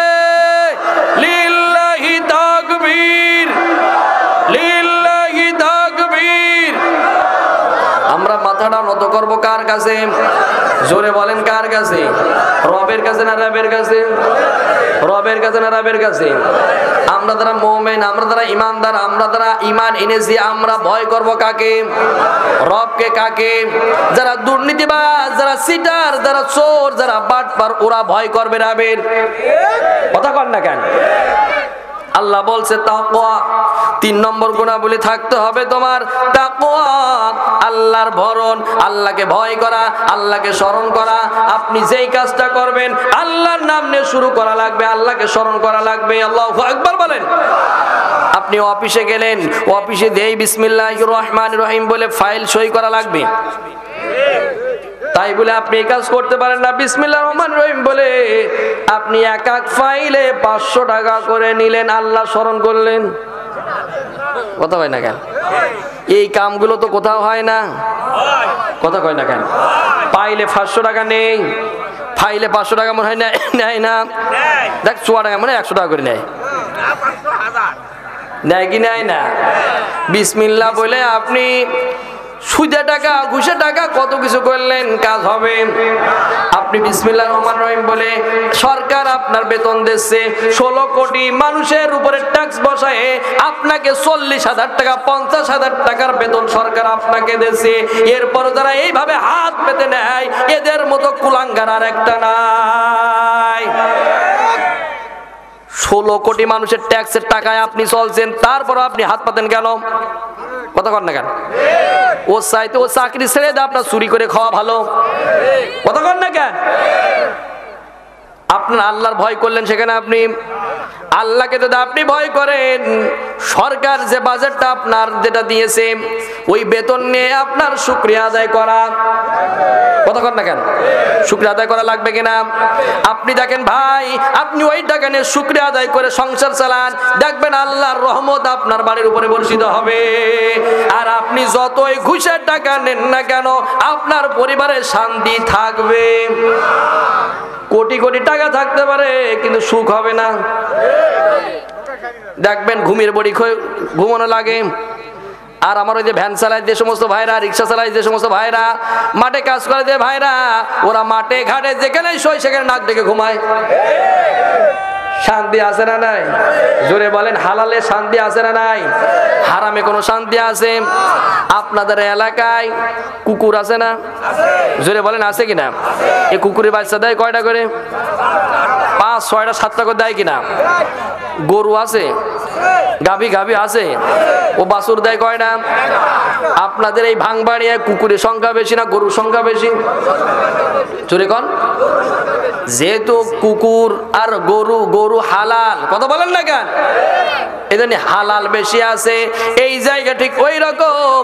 হালালে আরাম আছে, হারামে আরাম থাকবে না। যতই আপনার কোটি কোটি টাকা থাক, যতই আপনার মান সম্মান থাক, আপনি কিন্তু মনের ভিতর অশান্তিতে আছেন এবং আল্লাহর পরপারে যে আপনাকে জাহান নামে ঢোকা লাগবে কথাকার তাহলে গেল কয় নাম? জোরে বলেন জোরে বলেন। এবার আসেন চার নম্বরে হিসান কি? দয়া, মানুষের প্রতি মানুষের ভালোবাসা। আজকে মানুষের প্রতি মানুষের ভালোবাসা আছে? জোরে বলেন, আছে। আপনার আমার চোখের সামনে সাপের মতো বেরিয়ে বেরিয়ে মারে। আর কিছু বাটবার ক্যামেরা ধরে ধরে শুধু ছবি তোলে। কথা কয় না কেন? বিনা কারণে, বিনা দোষে হোক আর অন্যায় করে হোক, ওকে যখন ধরে বেরোচ্ছে, সরকারের আইন আছে না নাই? আইন করবে কোর্ট কাছারি, তুই এই বিচার করা কে? কথা কয় না কেন? খুব ভালো করে শোনেন, মানুষের প্রতি মানুষের ভালোবাসা আজকে কম না বেশি? কম না বেশি? আমি, আমার বয়স বেশি না। এই একত্রিশে পা দিয়েছে আমি। তাই একত্রিশ বছর বয়সে আমি বলছি, আমি যখন ছোট ছিলাম তখন আমার গ্রামে দেখতাম যে একটা মানুষ যদি কোনো দিন মানে কোনো দিন মারা যদি গিয়েছে, সারা গ্রামের যেন একটা কান্নার রোল বেড়ে গিয়েছে। আর এখন দিনে যদি চারটেও মরে যাচ্ছে, কবর খুঁজতে দাও, রিল্যাক্সে ডিজে গান বাজিয়ে। কথা হয় না কেন? মানুষের প্রতি কোনো ভালোবাসা, মহব্বত আছে? মানুষের প্রতি মানুষের ভালোবাসা যদি থাকতো, তাহলে এই অশান্তি হতো।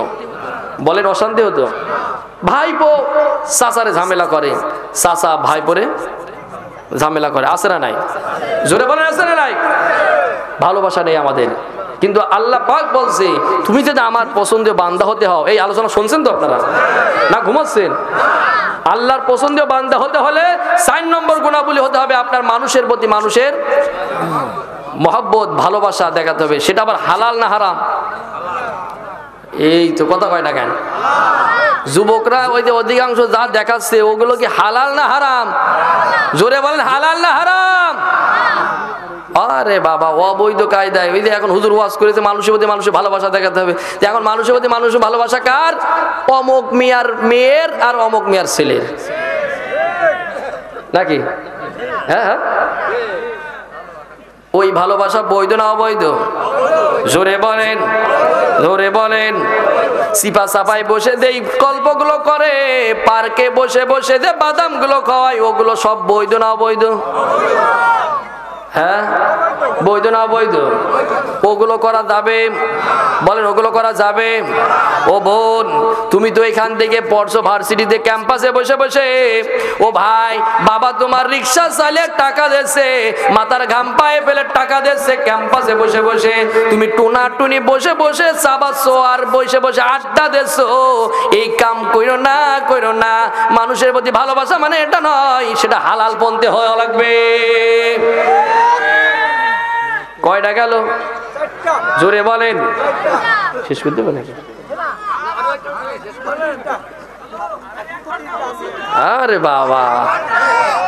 জিকির করেন সোবাগান আল্লাহ। ঠান্ডা হয়ে গেছে কমিটি ভাই কই? ভাই কালেকশন আছে নাকি আপনাদের? না না না কালেকশন নেই। এত কালেকশন? সভাপতির বক্তব্য এই আপনার থামছেন বলেন আমি তো সভাপতির একটু বক্তব্য আচ্ছা ঠিক আছে ঠিক আছে ঠিক আছে। আচ্ছা ঠিক আছে তা আমি তো ধরেছি তো সাড়ে আটটা বেজে যাবেন আরও। তার আগে শেষ করে দেবো ইনশাল্লাহ এই কষ্ট আছে না তো আপনাদের? আলোচনা কি চলবে? যুবকরা কি নেই নাকি? আছে? লাইন শুধু ওখানে মেরো না নিজের কেরিয়ার গরব মেয়ের বাপ তোমার লাইন দেবে। কথা কয় না কেন? নিজের কেরিয়ার গরব বিসিএস ক্যাডার হও। এমবিবিএস ডাক্তার হও ইঞ্জিনিয়ার হও, ভালো একটা জায়গায় জব করো, ভালো কর্মসংস্থান করো, ভালো ব্যবসায়ী হও। তুমি যার পিছনে দৌড়াচ্ছ না, ও তোমার, শুধু ও দৌড়বে না, ওর বাপ মা পর্যন্ত তোমার পিছনে দৌড়বে। কতক্ষণ না কেন? আর যদি তুমি না ভালো হও না কেন, যতই তুমি সেকাকে বেকা হয়ে দাও না কেন, কাজ কিন্তু হবে। কারণ মেয়ের বাবা দেখে তো ছেলে কর্মসংস্থান আছে কিনা? কথা কর না কেন। যতই ছেলের বাপে যাই থাকুক না কেন, ছেলে যদি কর্মিষ্ঠ না হয়, মেয়ের বাবা কি মেয়েকে তুলে দেবে? ও তো কারণ ও তো দিলি ও ব্যাস পেয়ার খাবে, ব্যাস পেয়ার খাবে। কথা কর না কেন। যাক, ওদিকে যাব না, অনেক রাত হয়ে গেছে। খুব ভালো করে শুনতে হবে বাপ। চার নম্বর গেল, এবার আসেন পাঁচ নম্বর তাওয়াক্কুল। কি? বিরাট একটা ক্যান্সার। এই সাবজেক্ট বাদ থাকে, এদিকে যাচ্ছে। না তাওয়াক্কুল, আল্লাহর উপর নির্ভর করা। আজকে আমরা আল্লাহর উপর নির্ভর করছি না, বাবার উপর নির্ভর করছি? ওরে বাবা, রে বাবা। ভাইর, আমার বোনের, আমার পাঁচ বছর ছেলে মেয়ে হয় না, এখন আল্লাহর উপর তাওয়াক্কুল বাদ দিয়ে এখন বাবার উপরে। এ কথা কর না কেন? বাবার উপরে তাওয়াক্কুল করছে, বলছে, বাবা, ও বাবা, আমার তো ছেলে হয় না, মেয়ে হয় না, বাবা, ছেলে মেয়ে দাও, বাবা, ছেলে মেয়ে দেওয়া ফ্যাক্টরি খুলে বয়েছে এইরকম শয়তান আছে না নাই? জোরে বলেন, আছে না নাই? এই মাতারা নত হবে কার কাছে? জোরে বলেন জোরে বলেন। কিন্তু আমরা আজকে করছি বাবার মাদারে যে। এই- এই- এইরকম চরিত্র লোক মানে নেই। আছে না নাই? আপনার তাওয়াক্কুল করতে হবে, নির্ভর হতে হবে কার উপরে। এই যে চট্টগ্রামে এক শয়তান দেখলাম, কয়েকজন ছেলে নিয়ে এক দরবারেতে বলছে, বাবা, ও বাবা, এই ছেলেগুলো এসএসসি পরীক্ষা দেবে। তোমার কাছে এসেছে, তুমি একটা ব্যবস্থা করে দিও। নাউজুবিল্লাহ কইতে মন চায় না? নাউজুবিল্লাহ কইতে মন চায় না? আপনার হাতে তিরিশ জন তিরিশ ফটো করে এক হাজার টাকা ওয়াদা করে দিলেন তিরিশ টাকা ওয়াদা করে কে বলগুলো তো কোনো কালেকশন নেই? লিখে দিল কমিটি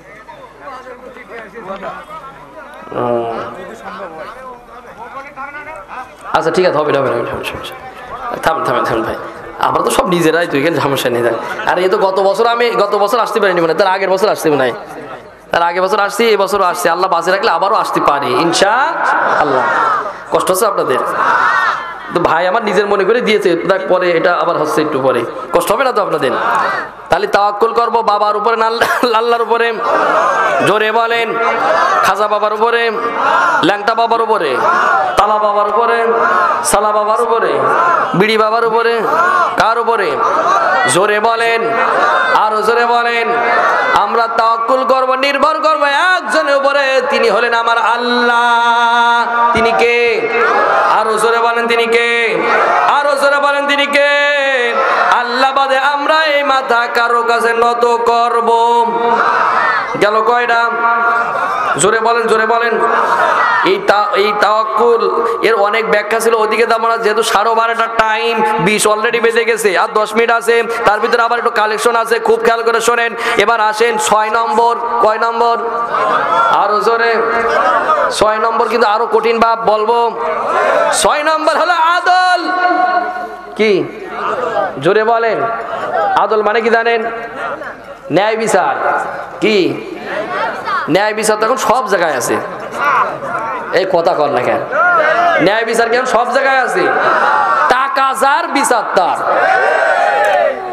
টাকা যার বিচার তার। জোর যার মুল্লুক তার। ওই জায়গায় কি কোনো এরকম সিস্টেম আছে নাকি? যেখানে রবে না কোনো হাসি যেখানে রবে না মিতে ফাঁসি, এক বিচারক করবে বিচার, এক বিচারক করবে বিচার, সকল দুয়ার করে বন্ধ। ভুলে যাও পৃথিবী রঙ্গ একদিন হবে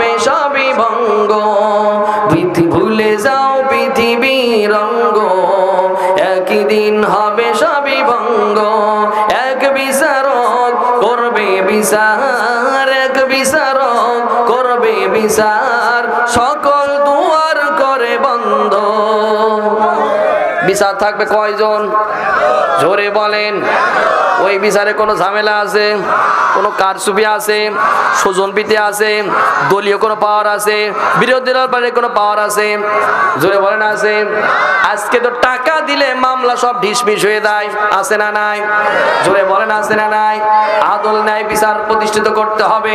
আল্লাহ রব্বুল আলামিন এবারে আদলের ব্যাপারে তিনটে ওয়াদা করেছে, তিনটা লকব দিয়েছে, তারা আদলে ন্যায় বিচার করতে পারে না। কি করতে পারে না? এই দিক খেয়াল করেন, অনেক কঠিন কথা বলছি বাপ। সংক্ষেপে কথাগুলো বললেও খুব খেয়াল করে শোনেন, যারা আদল, ন্যায় বিচার যারা করতে পারে না, আল্লাহ এবার এবার তিনটে উপাধি দিয়েছে, কয়টা? জোরে বলেন, আরও জোরে। এক নম্বর হলো ওয়ামাল্লা মাহকুম বিমা আনসালাল্লাহু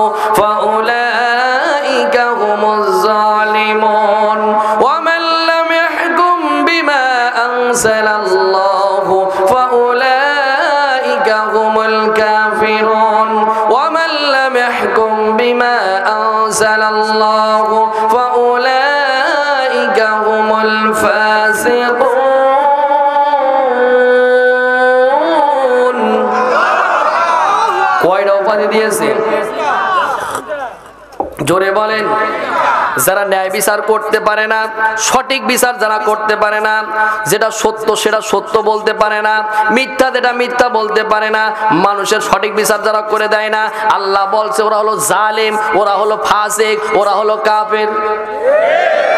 এ কথাকার তাহলে আমি মৌলবীর উপর রাগ করে লাভ আছে। রাগ করলে পারলে আপনি আল্লাহর সাথে করেন, আমার সাথে করে লাভ আছে। তাহলে আদল ন্যায় বিচার করতে হলে কার দিয়ে বিচার করতে হবে? আল্লাহর কোরআন দিয়ে বিচার করা লাগবে কি দিয়ে? জোরে বলেন কি দিয়ে? আরও জোরে বলেন কি দিয়ে? এই কোরআনে সব কিছু আছে না নাই? সব কিছু জালিকাল কিতাব লা রাইবা ফি, এটা সেই কিতাব যার ভিতরে কোনো সন্দেহের অবকাশ। এবং হুদাল্লিল মুত্তাকিন, মুত্তাকিদের একটা পথপ্রদর্শক। এই কোণের ভিতরে আপনি যে চুরি করবে, ওর বিচার কি হবে সেটা মনে হয় নেই। আসারিকু আসারিকাতু যে চোর পুরুষ হোক আর মহিলা হোক, কি করো? চোরে কান। শুধু হাত কাটবেন, ওই বেল চোর, তাল চোর, কপি চোর, বেগুন চোর, পটল চোর ওকার হাত কাটবেন। হ্যাঁ? হ্যাঁ। খুব ভালো করে শোনেন, ভালো করে বলেন আদল, ওইদিকে যাব না বাপ, ওইদিকে গেলে অনেক কথা বেড়ে যাবেন কথায় কথা বেড়ে যাবে, মাথায় ব্যথা শুরু হয়ে যাবে। আদল, ন্যায় বিচার, সুবিচার করতে হবে। আদল যদি আল্লাহর কাছে আপনার পছন্দ বান্ধ হতে হলে, শুধু ওই ম্যাজিস্ট্রেট যারা আছে, ওরা নয়, আপনার পরিবারে আপনি অভিভাবক, আপনি কিন্তু ওই জায়গার বিচারক। ছেলের একটার ভালো পজিশনে জমি দেবেন, আর আর একটা ছেলের খারাপ জায়গায় পজিশনে জমি দেবেন, আছে না নাই? বাবা রে বাবা বাবা আমার হজ করতে গিয়েছে, এক নম্বর জমি, ওই হাট বয়েলের নাম্বার ওয়ান বাজারের জমিটা ছেলের নামে রেজিস্ট্রি করে দিয়ে মেরে হাত বুলিয়ে চুলে যাচ্ছে, বলছে, মা, তোর জন্য দোয়া করে দেবো, আল্লাহ তোর সুখে শান্তিতে রাখুক। আল্লাহ বলছে, শয়তান দেখেছি কিন্তু তোর মতো এত বড় শয়তান দেখিনি। কথা কয় না কেন? ও যখন কাবার গিলাপ ধরে আল্লাহ বলছে ওই হাত নামা আগে মেয়ের দাঁড় বুঝে দিয়াই ওই জায়গায় যদি চার শতক জমি থেকে থাকে আর তোর যদি একটা ছেলে থাকে আর একটা মেয়ে থাকে চার শতকের ভিতরে মেয়ে মনে হয় পাবে না? তখন পাবে কি পাবে না? আর হাজি সাহেব, তুমি আমার যে ওই মেয়ের মেয়ের হকটা ফাঁকি দিয়ে ছেলের নামে লিখে দিয়ে হজ করতে যাবা, মেয়ের যত, যতই দোয়া করো না কেন, মেয়ে যদি না ছাড়ে, ও হজ কেমন পর্যন্ত হজ করলে ও হজ হবে। ওই জায়গায় ন্যায় বিচার হয়েছে? বলে ন্যায় বিচার হয়েছে? আপনার পরিবার আপনি অভিভাবক, আপনার করে ন্যায় বিচার করা লাগবে, আদল প্রতিষ্ঠিত করা লাগবে কথা বলেন ঠিক কিনা? এক এক করে সব জায়গায় যদি যাই অনেক রাত হয়ে যাবে আর সময়ও বেশি নেই। খুব ভালো করে শোনেন, এবার আসেন কয়টা গেল? জোরে বলেন কয়টা? এবার আসেন সাত নম্বর সবর, কি করতে হবে? ধৈর্য। আপনার বাধা আসবে ইসলাম মানতে গেলে, কোরআন মানতে গেলে, ইসলাম প্রতিষ্ঠিত করতে গেলে, হুমকি, হামকি, হামলা, মামলা, জেল, জুলম, নির্যাতন আসবে। এরপরও আপনার খেজুর গাছের মতো দাঁড়িয়ে থাকা লাগবে। সবর করতে হবে, ধৈর্য ধারণ করতে হবে, সবর যদি করতে পারেন, অবশ্যই সবিরিন। আল্লাহ বলছে যদি আমার বান্দা বান্দি সবর করে, ধৈর্য ধারণ করে ইমানের পথে অবিশাল অটুট যদি থাকতে পারে, আমি আল্লাহ ওয়াদ আল্লাহ, আমি আল্লাহ ওয়াদা করলাম, তার জন্য জান্নাত অবধারিত করে দিলাম। শেষ। আর এদিকে যাব না, ওয়াজ শেষ, নিজে অসুস্থ আছি, এখন আসেন, তিরিশ পাড়া তিরিশ হাজার টাকা। তিরিশ পাড়া তিরিশ হাজার, তার মানে এক এক পাড়া এক হাজার করে। পার্টি কয়জন আছে একটু হাত উঁচকে দাঁড়ান। নগদ দেওয়া লাগবে না। দেন দাঁড়ান দাঁড়ান। এই মুনাদাত না করে বাপ কেউ যাবেন না। মুনাদাত করেই যাব। আপনি না দিতে পারলেন তাই বলে আপনার জন্য কি আমরা জুলুম করব নাকি? আপনি বসেন। এতক্ষণ ধরে ওয়াজ যখন শুনতে পারেছেন মুনাদাতটা করে যাব না? যাব কিনা? জোরে বলেন যাব কিনা? আমার আজকে এই সেশনের নতুন অভিজ্ঞতা হলো। সভাপতি, প্রধান অতিথি, অতিথিরা ওই দু পাঁচ মিনিট ওয়াজ শুনে সব উঠে দৌড় মারে।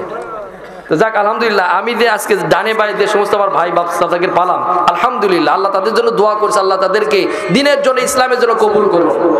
আরও জোরে বলেন, আমিন। এখানে যারা আছেন, আপনারা একটু বলেন, মা বোনেরা যারা আছেন ভাইরা যারা আছেন, তিরিশ জন তিরিশ পাড়ার তিরিশ হাজার টাকা দেবেন। আপনি একা? দি, আমার ভাই, এই নাম নেন। নাম? মুশারেফ ভাই, কয় পারা নেবেন? এক পারা? এক পারা। আলহামদুলিল্লাহ, লিল্লাহি তাকবীর। লিল্লাহি তাকবীর।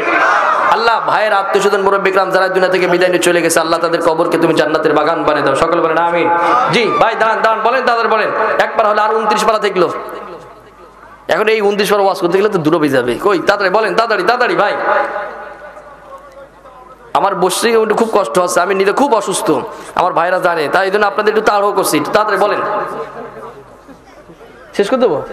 আচ্ছা লিঙ্কন ভাই দুই পারা লিঙ্গন ভাই দুই পারা সার্বিক সহযোগিতা ও দেখ আলহামদুলিল্লাহ। আমার লিঙ্গন ভাই দুই পারা লিল্লাহি তাকবীর।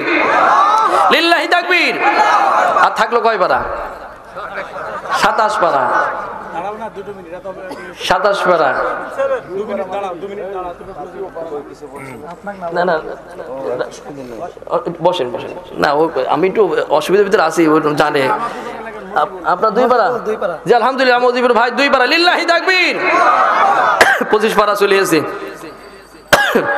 জি বলেন ভাই। বলেন বলেন তাদের বলেন তাদের বলেন। আপনি কয় পারা এক হাজার। এক পারা লিল্লাহি তাকবীর। আপনার নাম? নাম কি? হ্যাঁ? মোহাম্মদ সেলিম ভাই। আপনার এই গ্রামে বাসা? নাম লিখেন গ্রামের নামটা লিখে নেন। জি বলেন ভাই বলেন বলেন। আর থাকল চব্বিশ পারা। কমপক্ষে দশ পারা তো হবে তো তারপরে না দেখি। বলেন বলেন বলেন বলেন। হয়ে যাবে ইনশাল্লাহ এই মা বোনদেরাও অনেক রেডি আছে। আপনাদের স্বেচ্ছাসেবক দা- আছে, বোনেরা, আপনারা দ্বারা স্বেচ্ছাসেবক দায়িত্ব পালন করছেন, আপনারা বোনেরা যদি কেউ দিতে চায়, আপনারা কাইন্ডলি লিখে আমাদের কাছে একটু পৌঁছে দিন জি আছে আর কেউ? বুরহাদ্দিন এক পারা লিল্লাহি তাকবীর। আর দরবার লিল্লাহি তাকবীর। আর থাকল কয় পারা? হুজুর, আমার ভাই তো আপনার নাম কি? রিয়াদ। রিয়াদ ভাই এক পারা লিল্লাহি তাকবীর তাহলে বাইশ পারা হয়ে গেল। মিরাল ভাই এক পারা। একুশ পারা। আলহামদুলিল্লাহ আর থাকল একুশ পারা। জি বলেন বলেন বলেন। জি বলেন বলেন ভাই। খুব তাড়াতাড়ি তাড়াতাড়ি। যে আল্লাহ কবুল করবে ইনশাআল্লাহ। কেমতের ময়দানে কোরআন আচ্ছা প্রধানমন্ত্রী বিশ পারা শেষ করো। লিল্লাহি তাকবীর। এ হইল না তো ঘুমাচ্ছেন নাকি আপনার? লিল্লাহি তাকবীর। লিল্লাহি তাকবীর। আমাদের প্রধান অতিথি বিশ পাড়ায় উনার। আমরা আল্লাহর কাছে দোয়া করছি আল্লাহ আপনার বাবা মাকে আছে। আমার হাদিস সাহেবের আল্লাহর ঘর তাওয়াফ করে এসেছে। আলহামদুলিল্লাহ। আলহামদুলিল্লাহ করতে মন চায় না নাকি? আমার ভাবি যান মারা গেছে। ওনার বাবা মারা গেছে। মা প্যারালাইসে আছে। আমরা দোয়া করছি এই গভীর রজনীতে। তার মা, তার বাবা এবং তার স্ত্রীকে আল্লাহ যেন জান্নাত নসিব করেন যেটা বলেন, আমিন। এবং ওনার মা প্যারালাইজড হয়ে পড়ে আছে। আল্লাহকে দোয়া করছে, আল্লাহ যেন তাকে সুস্থতা দান করেন। জোরে বলেন, আমিন। সমস্ত বালা মুসিবত থেকে তাকে যেন হেফাজত করেন।